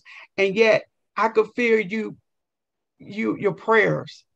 I didn't want to come back to church, but I just had this desire to come on back. You're muted. I can't hear you. I remember that season. Um, there was a lady that was coming to the church and she had a white husband. Mm-hmm. Do you remember that? Mm-hmm. You remember that, that that that that person? I don't I, I don't remember the lady's name. Yes, it was a um a friend of a friend. Yeah. Okay, that was a friend of yours.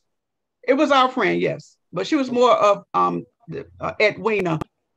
But yes, I know you're talking about. Okay, it was. Her name was Wilhelmina. Okay, it was during that season. I, I still pray for her and him and look for them in the realm of the spirit. Mm-hmm.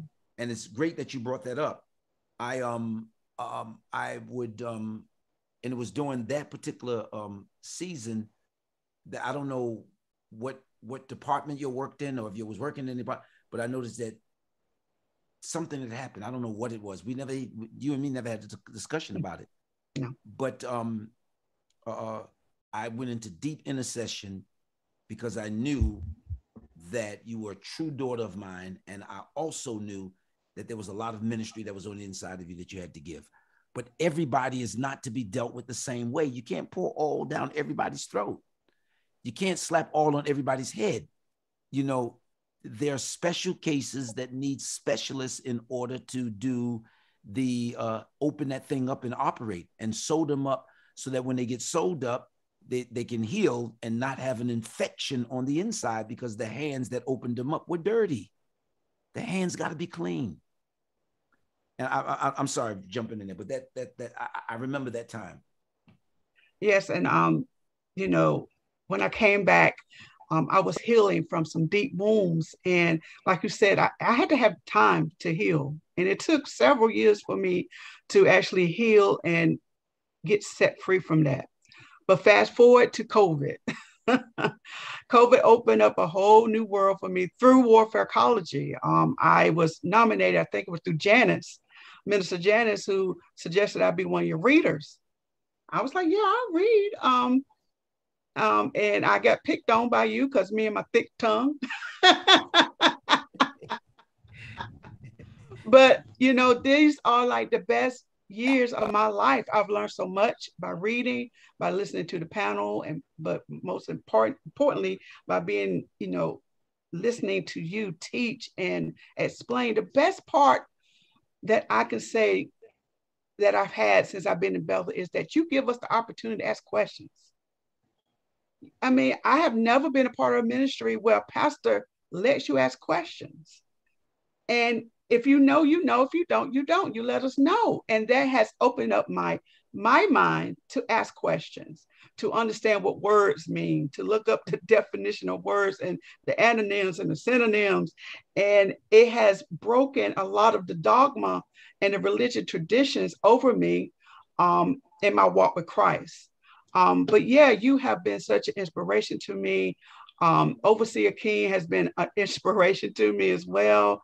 He has helped me so much um, learning how to be a servant.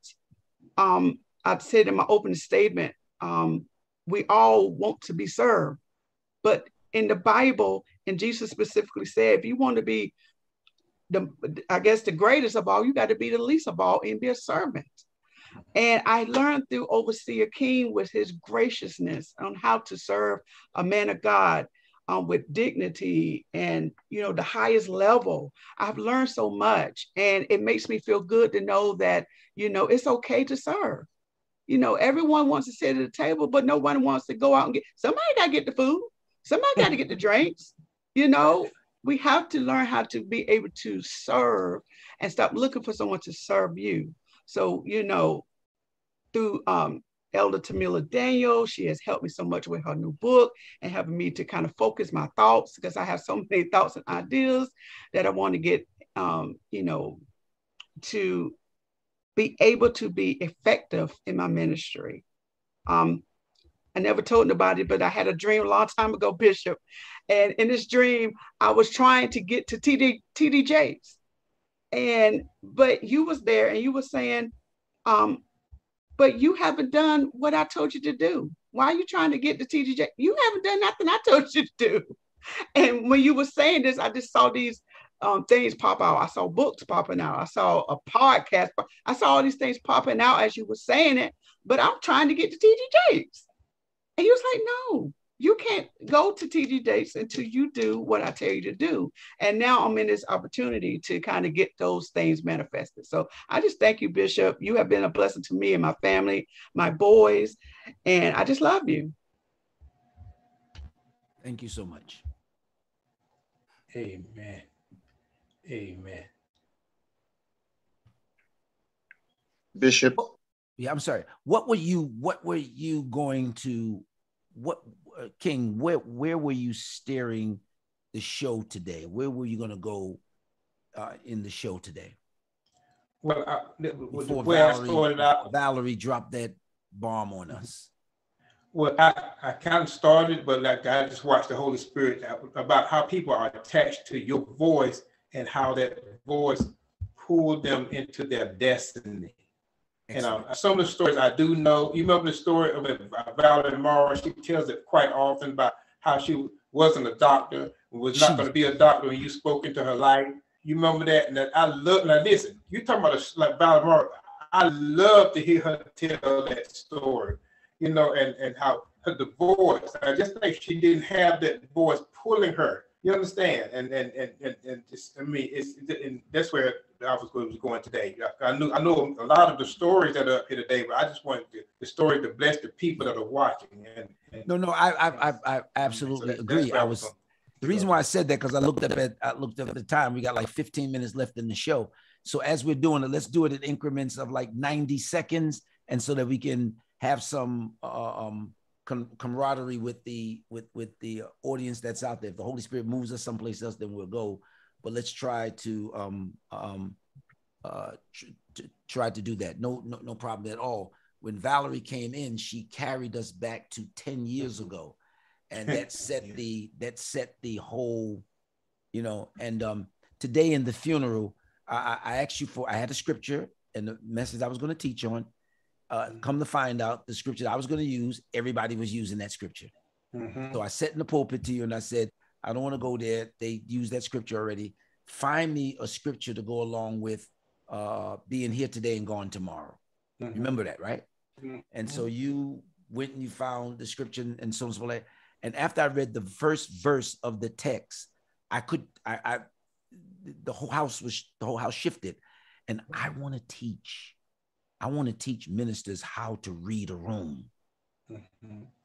Because the message today is a result of being able to read the room. And when I had the friends of that girl, which was about 15 or 16 of them, stand up in that room and connect themselves to that person who was laying in that casket, in that coffin, and broke down in tears and felt they need to come back to God and felt that they needed a, a spiritual voice in their life. That's a result of reading the room. Other preachers would have just got up there and told them, yo, going to hell. Let's repent, uh, get rid of them tattoos and get them rings out of your face and da da da, so on and so forth like that. Missed the point where the two things she loved doing and didn't do it much, but the two things she loved doing was going to church and going to the beach. Going to church and going to the beach. And her brother told me that the church she loved going to was our church. For they had been in many churches, but didn't move her. Now that's something, my brother. Mm-hmm. Uh, uh, uh Jones said, he said, he said, he said, man, uh, uh, uh, um, I went to those churches, I would dance and shout, and then I go to sleep.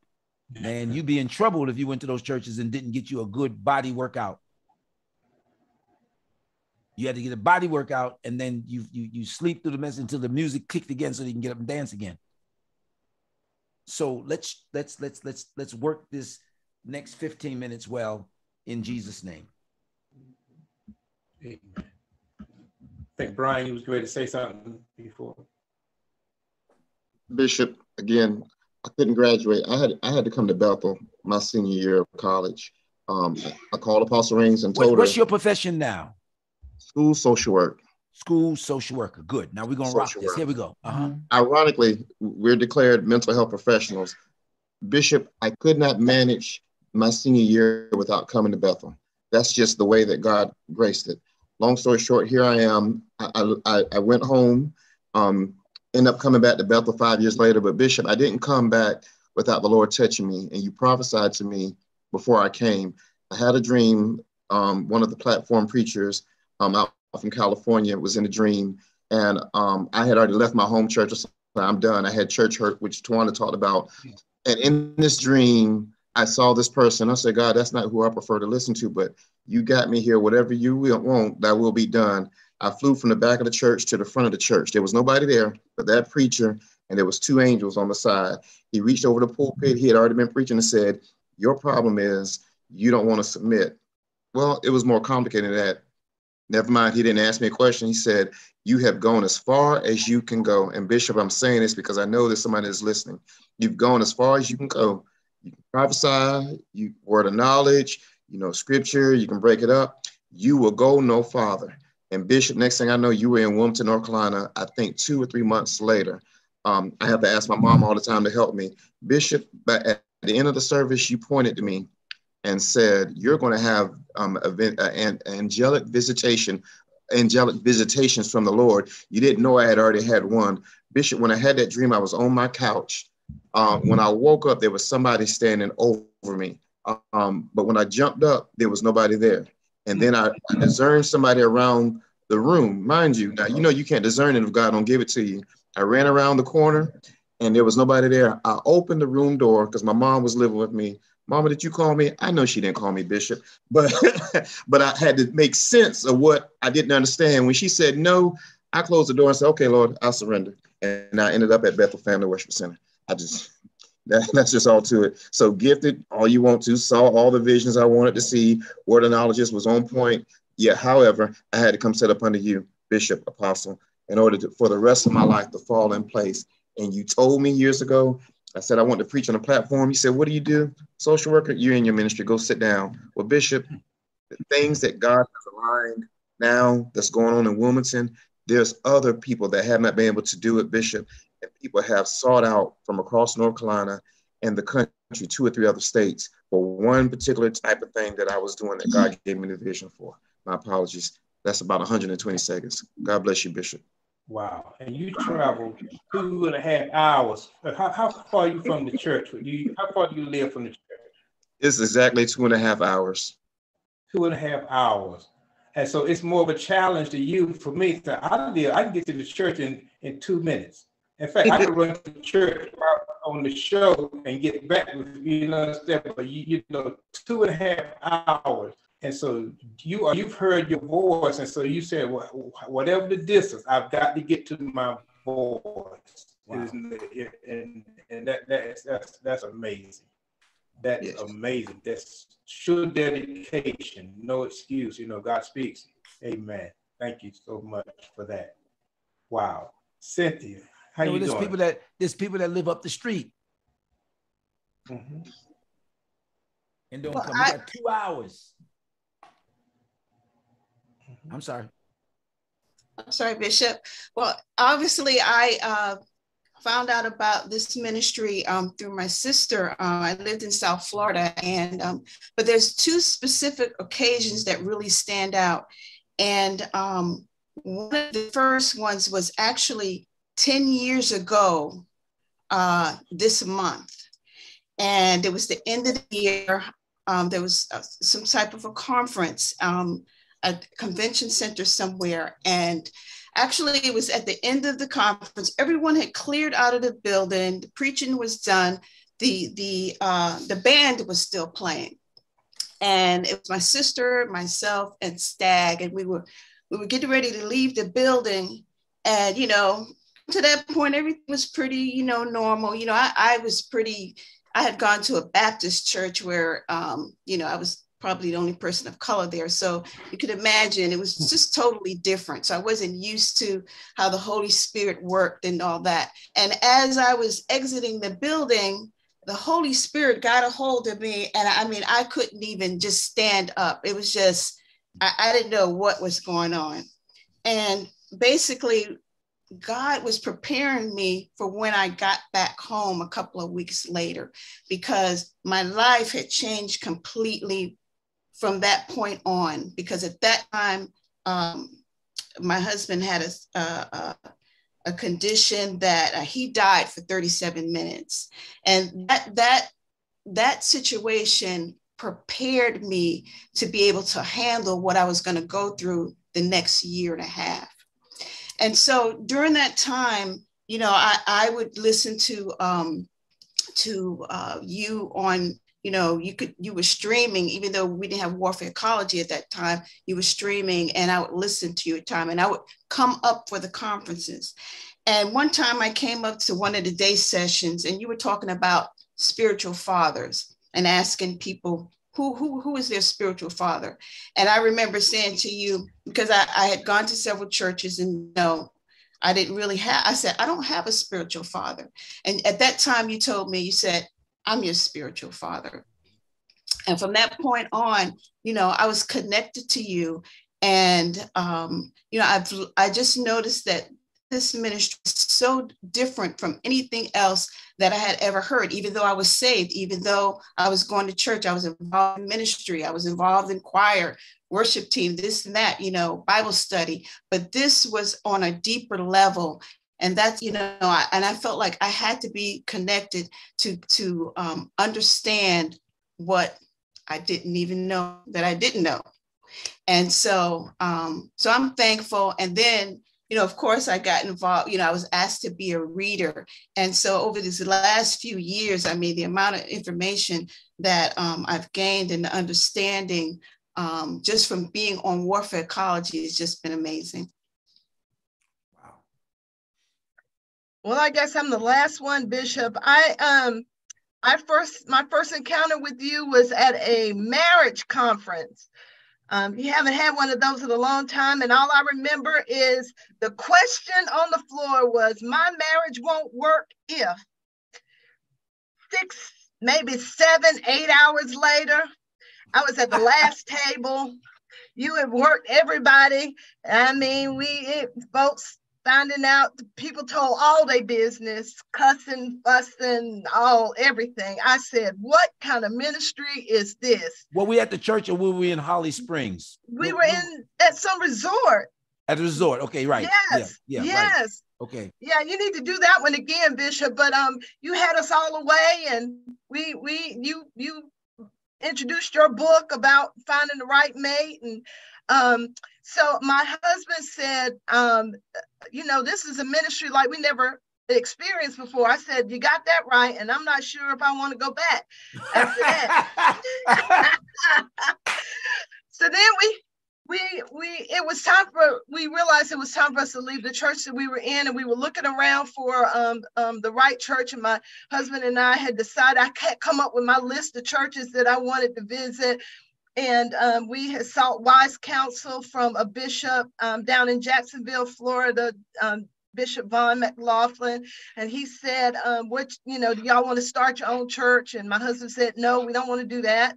He said, "Why don't you look at um, think about going to see um, Bishop Bloomer because he's crazy and y'all crazy too. Y'all probably get along just fine." Wow. And um, we said, uh, "We'll go and visit." And um, we walked through the door. We heard you preach that first time, and my husband said, This is home. Wow. And I said, What about my list? I need to go visit all the other churches, and I still haven't visited not one of those churches yet because we uh, sat down and we've been here ever since and serving and working. And, and I could just remember thinking, um, you know, I, I had been in churches where I was I felt like I didn't have any more to learn from the person that that was teaching me. And it was such a fresh air to have somebody to know more than I knew. Um, and that sounds, I don't know what that sounds like to other people, but you, I just needed to be around somebody who could, who was a level or two higher than me that could impart into me and give me something that I hadn't had before. And I'm just so thankful that God brought me um, to you. Now, this is the second time today you said something that's very, very powerful. I don't know how we're going to do it, but between now and February the 14th, we're going to do a marriage seminar. Yay! In that building, we're not going to go to another what you call it. They're right. to come there um, and start Saturday morning and it end when it ends. Yes. Those of you that are watching right now. Get yourself ready. In the next few days, we're going to have a date for you. I when you said it, it just jilted in my spirit. It jilted in my spirit. And you know what? Someone, while you were talking, sowed the seed, and under the seed, they said, for marriage, family, relationship. Wow. Amen. This is the time for it. This is yeah. the time for it. We're going to combine. It's going to be a marriage, family. Remember, we used to have the conferences. I, uh, uh, Vatilla would remember this. The family conference. We did it in Wilmington at the mm-hmm. Hilton Hotel. Of course, this is 15 years ago.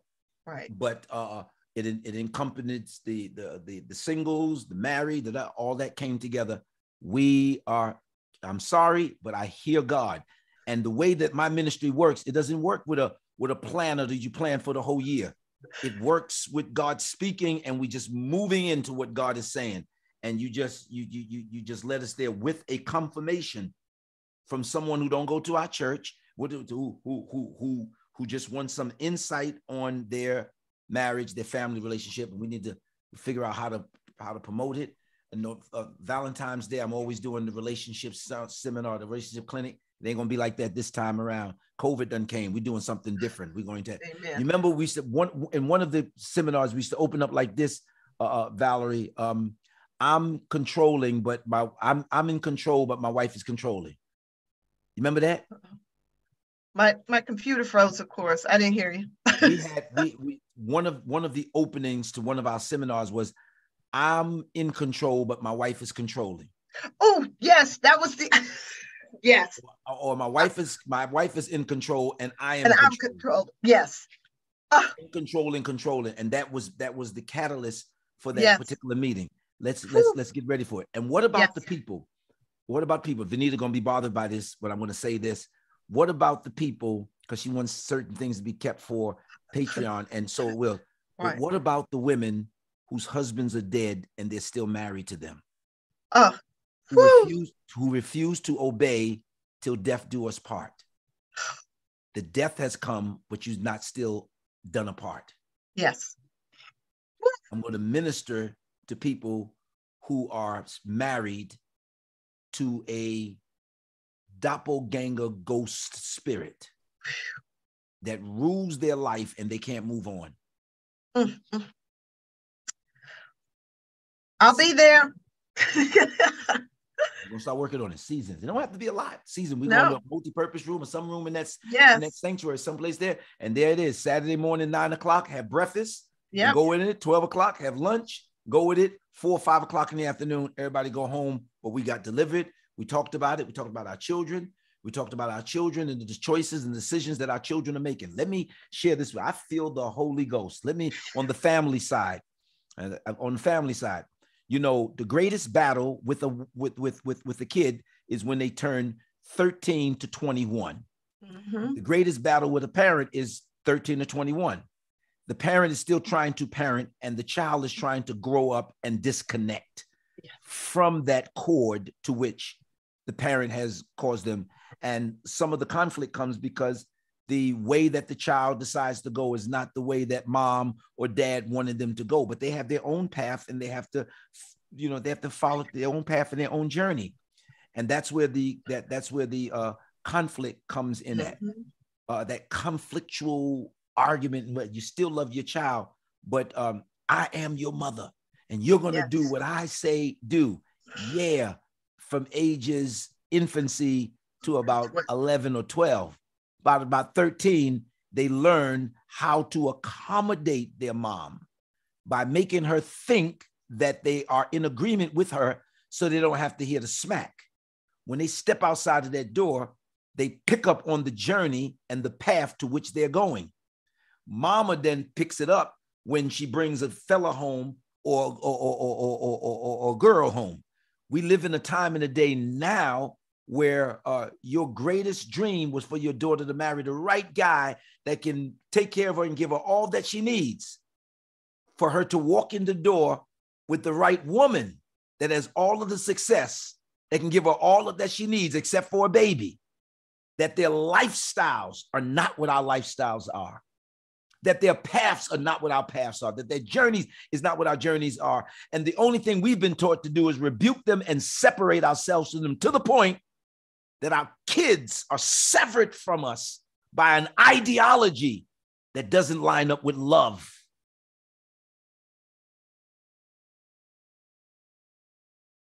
Twenty twenty three is my year. Yes. 2023 is my year. Overseer, you say what?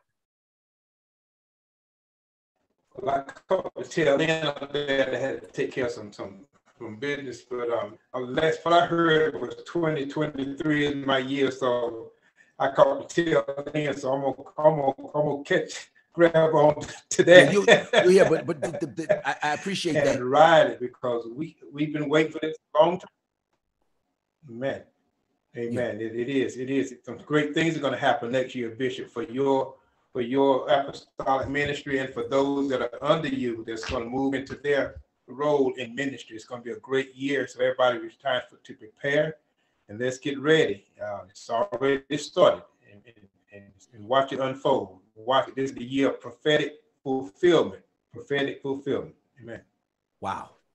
Amen. So let's let's let's, let's do the offering and uh, and you you had something set up for a prophetic uh, a prophetic uh, forecast for today or something like that. You said something because uh, um Bryant was like, yeah, uh, uh, I hope I didn't give it away or which. So you know, I don't know.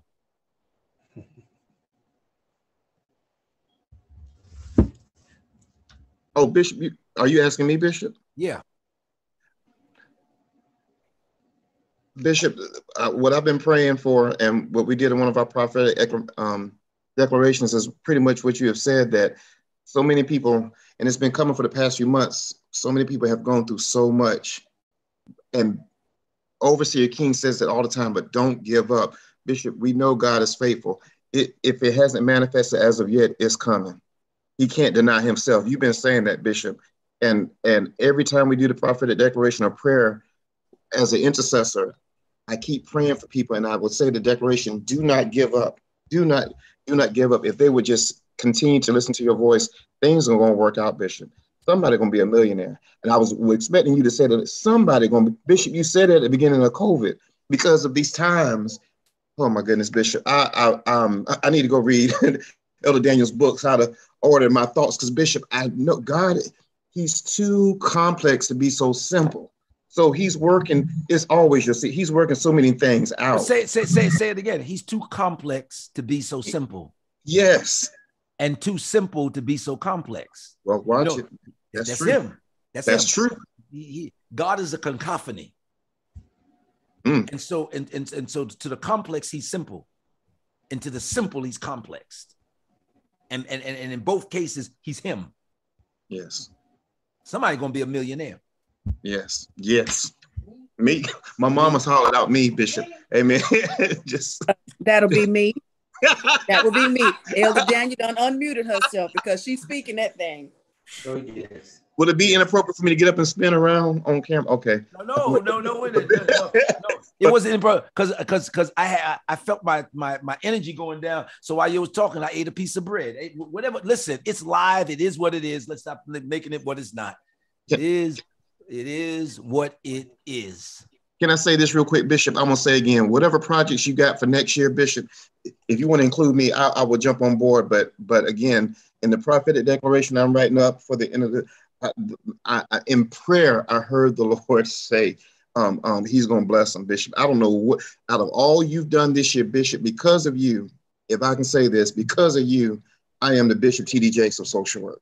Because of you, people are the are the, are the are, Bishop you, Noah Jones of corporate America. Because of you, Bishop, if I was, I, I have to be careful what I say, but because of some what you have taught me, I helped a colleague, a friend, triple their six-figure salary, Bishop. My God. From simple principles that you teach us. Um, um, I, I got one offering out of it. I will say that. That's not Brian. Go back to what you said. You said because uh, your TD Jakes. What? What did you say? I am the TD Jakes of social work. I am the Bishop TDJ. I was trying to make it the manpower. I was trying to make it a woman dog loose, but God just gave me a platform in Wilmington and, and, and North Carolina to, to do what you told me not to walk away from. Not to walk away from. You told me, oh gosh, however many years, over 10 years ago. You said go sit down. Actually, you said go sit down. you said go sit down. You're in your ministry. That's that's exactly what you said. That's exactly what you said. Go sit down. You are in your ministry. God, you say you are. Ministry. This is your ministry. Don't yes. worry about don't, don't do all that. This is it right here.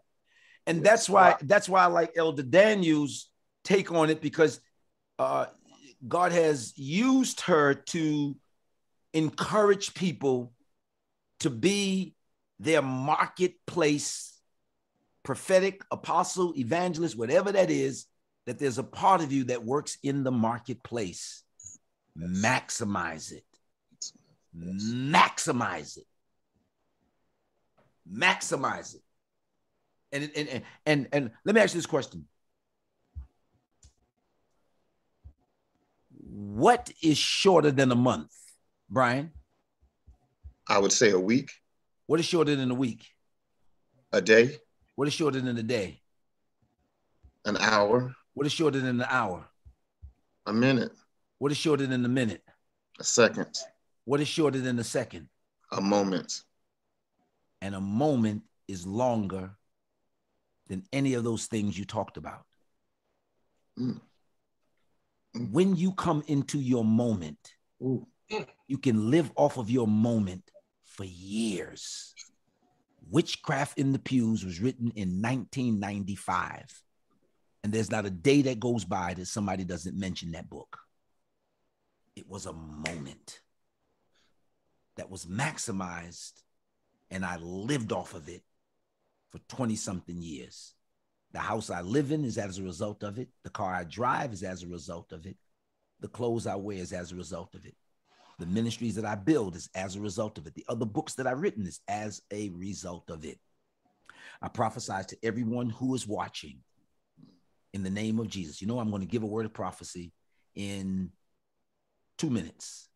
Y'all talk. I got to ask for something before I give this word of prophecy because I'm not a prophet. So I got to get the right number in, in order to give the prophecy. But I'm going to give you a word in two minutes. King? Bishop preached a long time ago. Uh, if it hadn't come, if it hasn't come, it will come. He did a series on that years and years. And do y'all remember those? Y'all remember those messages? Y'all have been here. How, how long have you been here, uh, Tawanda? About 15 years. So do you remember that message Bishop preached? If it hadn't, if it hasn't come, it will come. Yes. It's I mean, yeah, I mean, he would do series and, and uh, those, I mean, and those times, uh, well, there was they're speaking into things that are happening now, and and the mm-hmm. thing, and we couldn't see the things we are now. We had no idea back then that this is what he was talking about. We that we had no clue. You had no clue. You be the, one of the readers of Warfarecology and, and, and Brian, you doing what you're doing. And we had no clue, but God already had it in his mind. And he talked about that. I mean, it, it's amazing. It's amazing how how the word come brings you full circle. He said there's a word that's spoken over your life, and that word cannot fail. Do you remember that message? Uh, Cynthia, how long have you been in church at, at Bethel? Well, physically, I say about five years, but like I said, it's going back about 10 years now. About 10 years. So Bishop would always preach there's a word that's been that's, uh, that's been spoken, but how there's a word that's spoken over, over your life that cannot fail. And he would say at one time, every time he would get up before he would do anything, he would say, There's a word that's been spoken over your life that cannot fail over and over. There's a word. There's a, he said he said it so much until it become part of your psyche. You be waking up in your sleep. There's a word that's spoken over you. There's a, I mean, it, it just became a part of you until that thing resonated down on the inside, so that you know that word that was spoken, it cannot fail. It cannot fail. And so this it gave us something to hold on to. It, it was that rock that we held on to through the storm I mean, through the rain, through the times we felt like giving up, where we didn't see any progression of the word. You understand when God speaks a word and everything around dies. You understand? God speaks life, and then you look, everything dies. I mean, just the opposite manifests. And that's, that's that's the craziest thing. God speak healing. Next day you're in the emergency room. God speaks finance. The next day, I got to go to bankruptcy court. God speaks, your relationship's gonna be restored. Amen. So talk to us about, you know, some of those words, some of those words that Bishop spoke down through the years. There's no way that you could have been better and you not know that some of the things that were said, like the power principles, accusation and criticism, the final stage before spiritual promotion. You could always tell how blessed you're gonna be. I mean, over and over. I mean, they, I mean, it was just literally faith comes by hearing. So we kept hearing, kept hearing, kept hearing, kept hearing, kept hearing. When nothing was happening, we still kept hearing. When we going in the opposite direction, we kept hearing. We kept hearing. When it seemed like things was falling, like domino, we still kept hearing. We kept hearing. But after a while, things started turning. you understand? It, it, you know, it started turning, it started turning. And so now we're I, living in that season of there's a word that has been spoken over your life that cannot fail. We're living in you Amen. know, you, you you know, uh I want to say this uh as we're getting ready to go off the air. Um, I want to say this to uh to 30 people uh, I asked how long is uh, what's shorter than a month, a week, what's shorter than a week, uh, a day, what's shorter than a day, a a a, uh, a hour, uh, what's shorter than an hour, a minute, what's shorter than a minute, a second, what's shorter than a second, a moment. And um, I'm talking to 30 persons who are watching tonight that have really just have missed your moment. Just missed your moment just just just miss your moment. I want to carry you through a prophetic uh, exercise. And the prophetic exercise is put your money where your thoughts and mm. your mouth is. Put it where it where it is. There's a saying that it takes money to make money. A tip in Europe uh, is the acronym for to assure proper services. In the spiritual realm, a tip is to ensure prophetic services, that the things that we speak will come forth. Valerie Morrow dropped that word of 48. And in my spirit, the number 10 dropped, and we went into overflow there. There are 30 persons who are watching as we're going off the air. I want you to ensure a moment for every month starting January 1. I want you to get a $12 seed and I want you to sow it. That's a dollar on every day. Where there is no seed in the ground, there can be absolutely no harvest. I'm talking to you. I again am sowing a seed of 12, a dollar on each day. A dollar on each day. You can't get out of Starbucks for less than that. A dollar per day in the name of Jesus. That's the word that I'm forecasting and speaking to you. And again, I want you, when you sow it, I want you to write up under it, done. Done. And we're going to do this in eight minutes. Eight is the number of new beginnings. We're going to be talking while you're sowing, while we're doing this in the name of Jesus. 12, 12, 12, $12, 30 persons. 30 is the age that Jesus' ministry started. 12 is the number of an apostolic number of governance. 12 of you. Start sowing that seed now. Dollar sign General of Warfare, Zelle Bloomer at bishopbloomer.com. PayPal me, GGB Ministries. Text to give, text Bloomer to 844 889 1559. Dollar sign General of Warfare, Zelle Bloomer at bishopbloomer.com. PayPal me, GGB Ministries. Text to give, text Bloomer to 844 889 1559. Oh my God. One more time, dollar sign General of Warfare, Zelle Bloomer at bishopbloomer.com. PayPal me, GGB Ministries.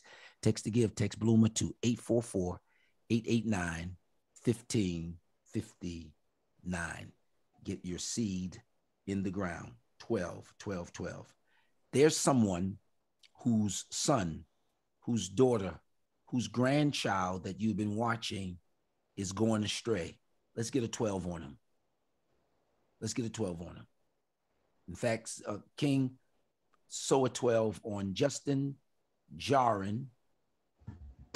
Justin Jarin, Bree, the little one, Zoe, uh, China, um, uh, and Jari's two kids.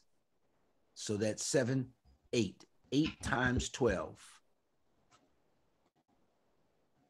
I want you to get it and sow it right now in the name of Jesus on my behalf, on my grandchildren, in the name of Jesus, right now, in the name of Jesus. Tell me who can stand before us when we call on that great name Jesus, Jesus, precious Jesus. We have the victory.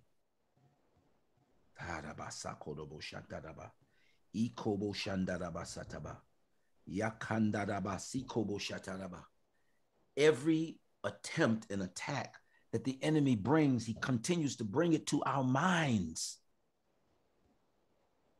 Don't disconnect yourself from the voice that God connected you to just because you get frustrated. Don't have a, an adult temper tantrum, kicking up, slamming things, and knocking things down. I want to get the bishop, I can't get the bishop, so my season is up.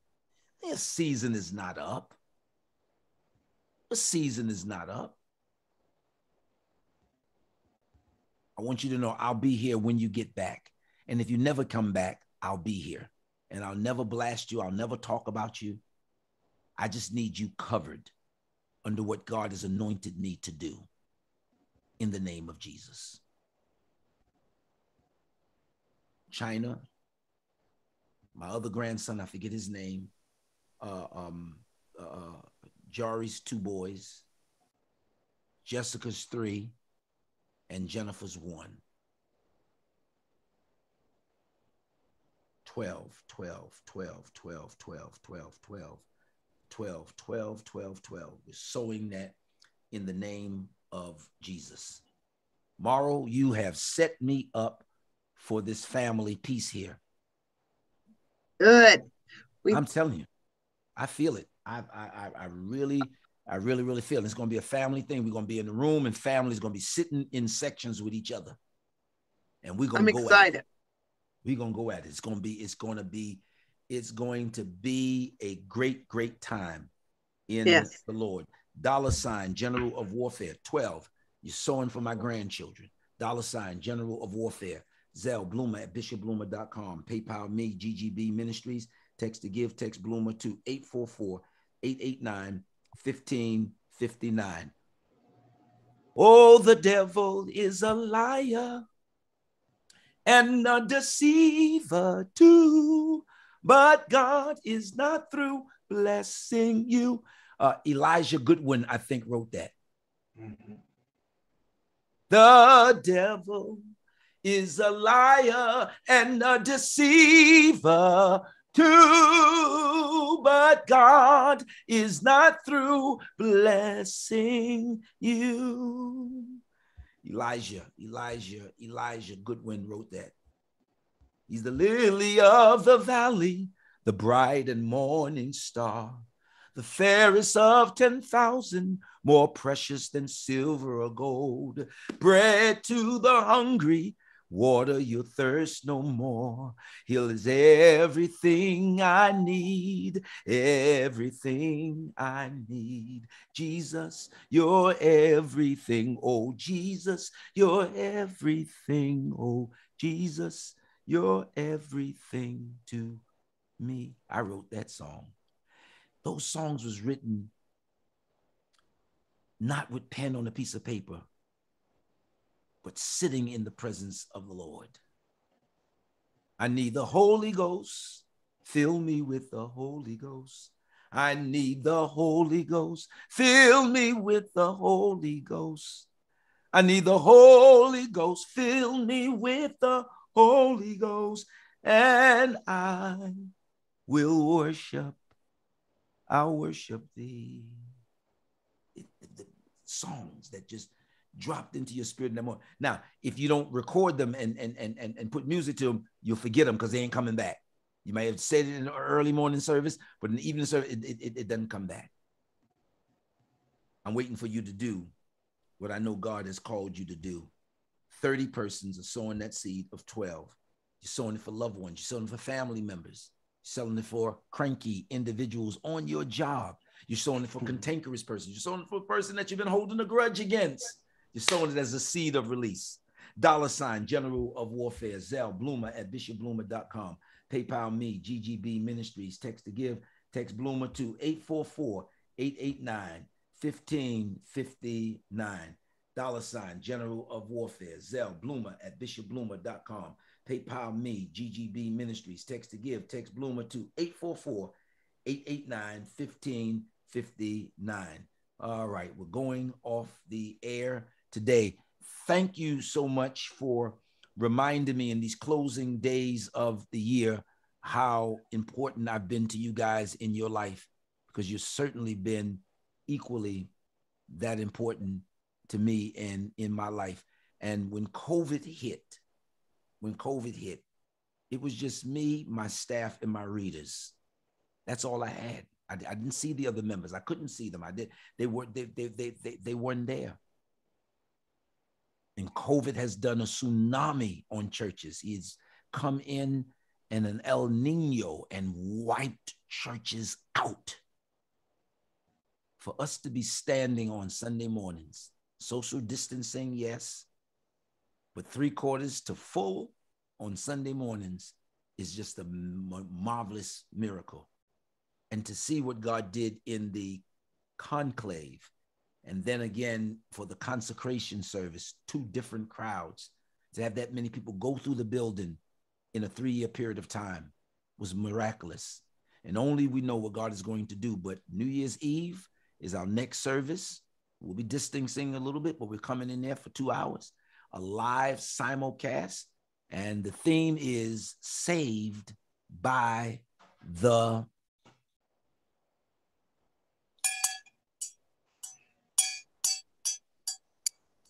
bell. Saved by the bell. Our preachers are going to be preaching in a marathon, hitting the bell and going, hitting the bell and going, hitting the bell and going. It's a miraculous thing. Uh, uh, uh tomorrow, this Sunday morning, we had the opportunity to minister to uh, Kevin and his wife. I heard. And I can't even begin to tell you how on point that was because his wife and I, Shirley, had the conversation the week before, two about four or five days before, and I told her that God would speak to her, she and her husband, without a shadow of a doubt. And then Sunday, and I wasn't there, but Sunday she called me and said, "Val, God spoke." Changed her life. I reminded her that you told her that her healing hey! was in her dance. And she said, Val, ever since I stopped dancing, I've been sick. I've been falling. I can't, my life is falling. I'm so thankful that Bishop spoke this word into our life again. Uh, Carmen's wife name is Renee. Renee. Uh, Renee in retirement is holding a ministry structure that we're going to see in fulfillment in 2023 in our church. That gift is going to come forth. Oh my goodness. And it's going to bless the people of God. Woo! Under this administration, I told you I feel prophecy. Uh, under this administration, that anointing as a, a, a, pastor of education that was on Wilma Yellick Yes. People leave, but that anointing stays in the earth. Yes. That anointing is your anointing for me in my Amen. house amongst my people. Amen. anointing is there. And we, will we'll have to carve, we'll have to shape, we'll have yes. to mold, all that has to happen. Adelia said it best. It's a process. But this is that season. This is that area. This is that time of process. Amen. I feel so safe with uh with Tawana and uh and and and Toes and and Ione and those readers and Evelyn. I feel uh, undergirding by these women. And I know that the ministry that is about to come out of you is going to be unbelievable. Amen. And I've never had a day like I've been having the past two years where I just sit back and I know that any one of my sons and daughters, I can say to them, go and and uh, preach this or do this, and they just like that. It's amazing what what what was coming out of you guys, and that you listen and you hear, and that's all Amen. we've ever wanted from God. Amen. We're going to the top of our game, in the name Amen. of Jesus. Dollar sign, General of Warfare. 30 of you are sowing the seed of $12. Dollar sign, General of Warf- Warfare.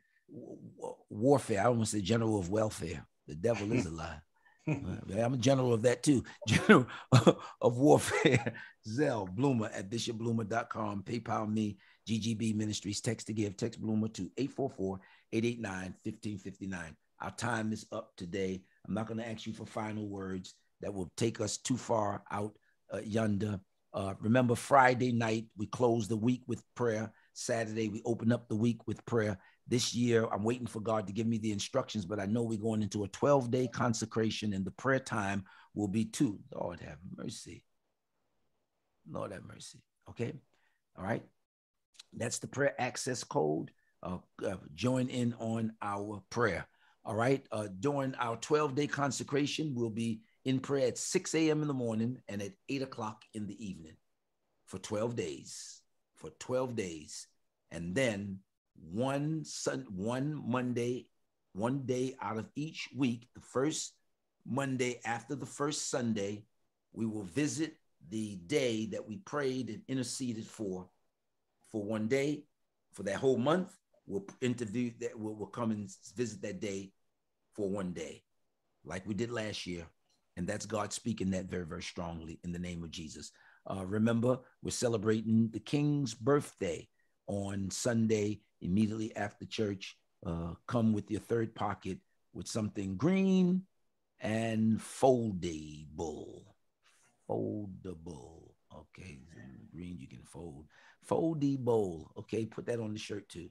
In the name of Jesus. Love you guys very, very much. Dollar sign, General of Warfare, Zelle Bloomer at bishopbloomer.com.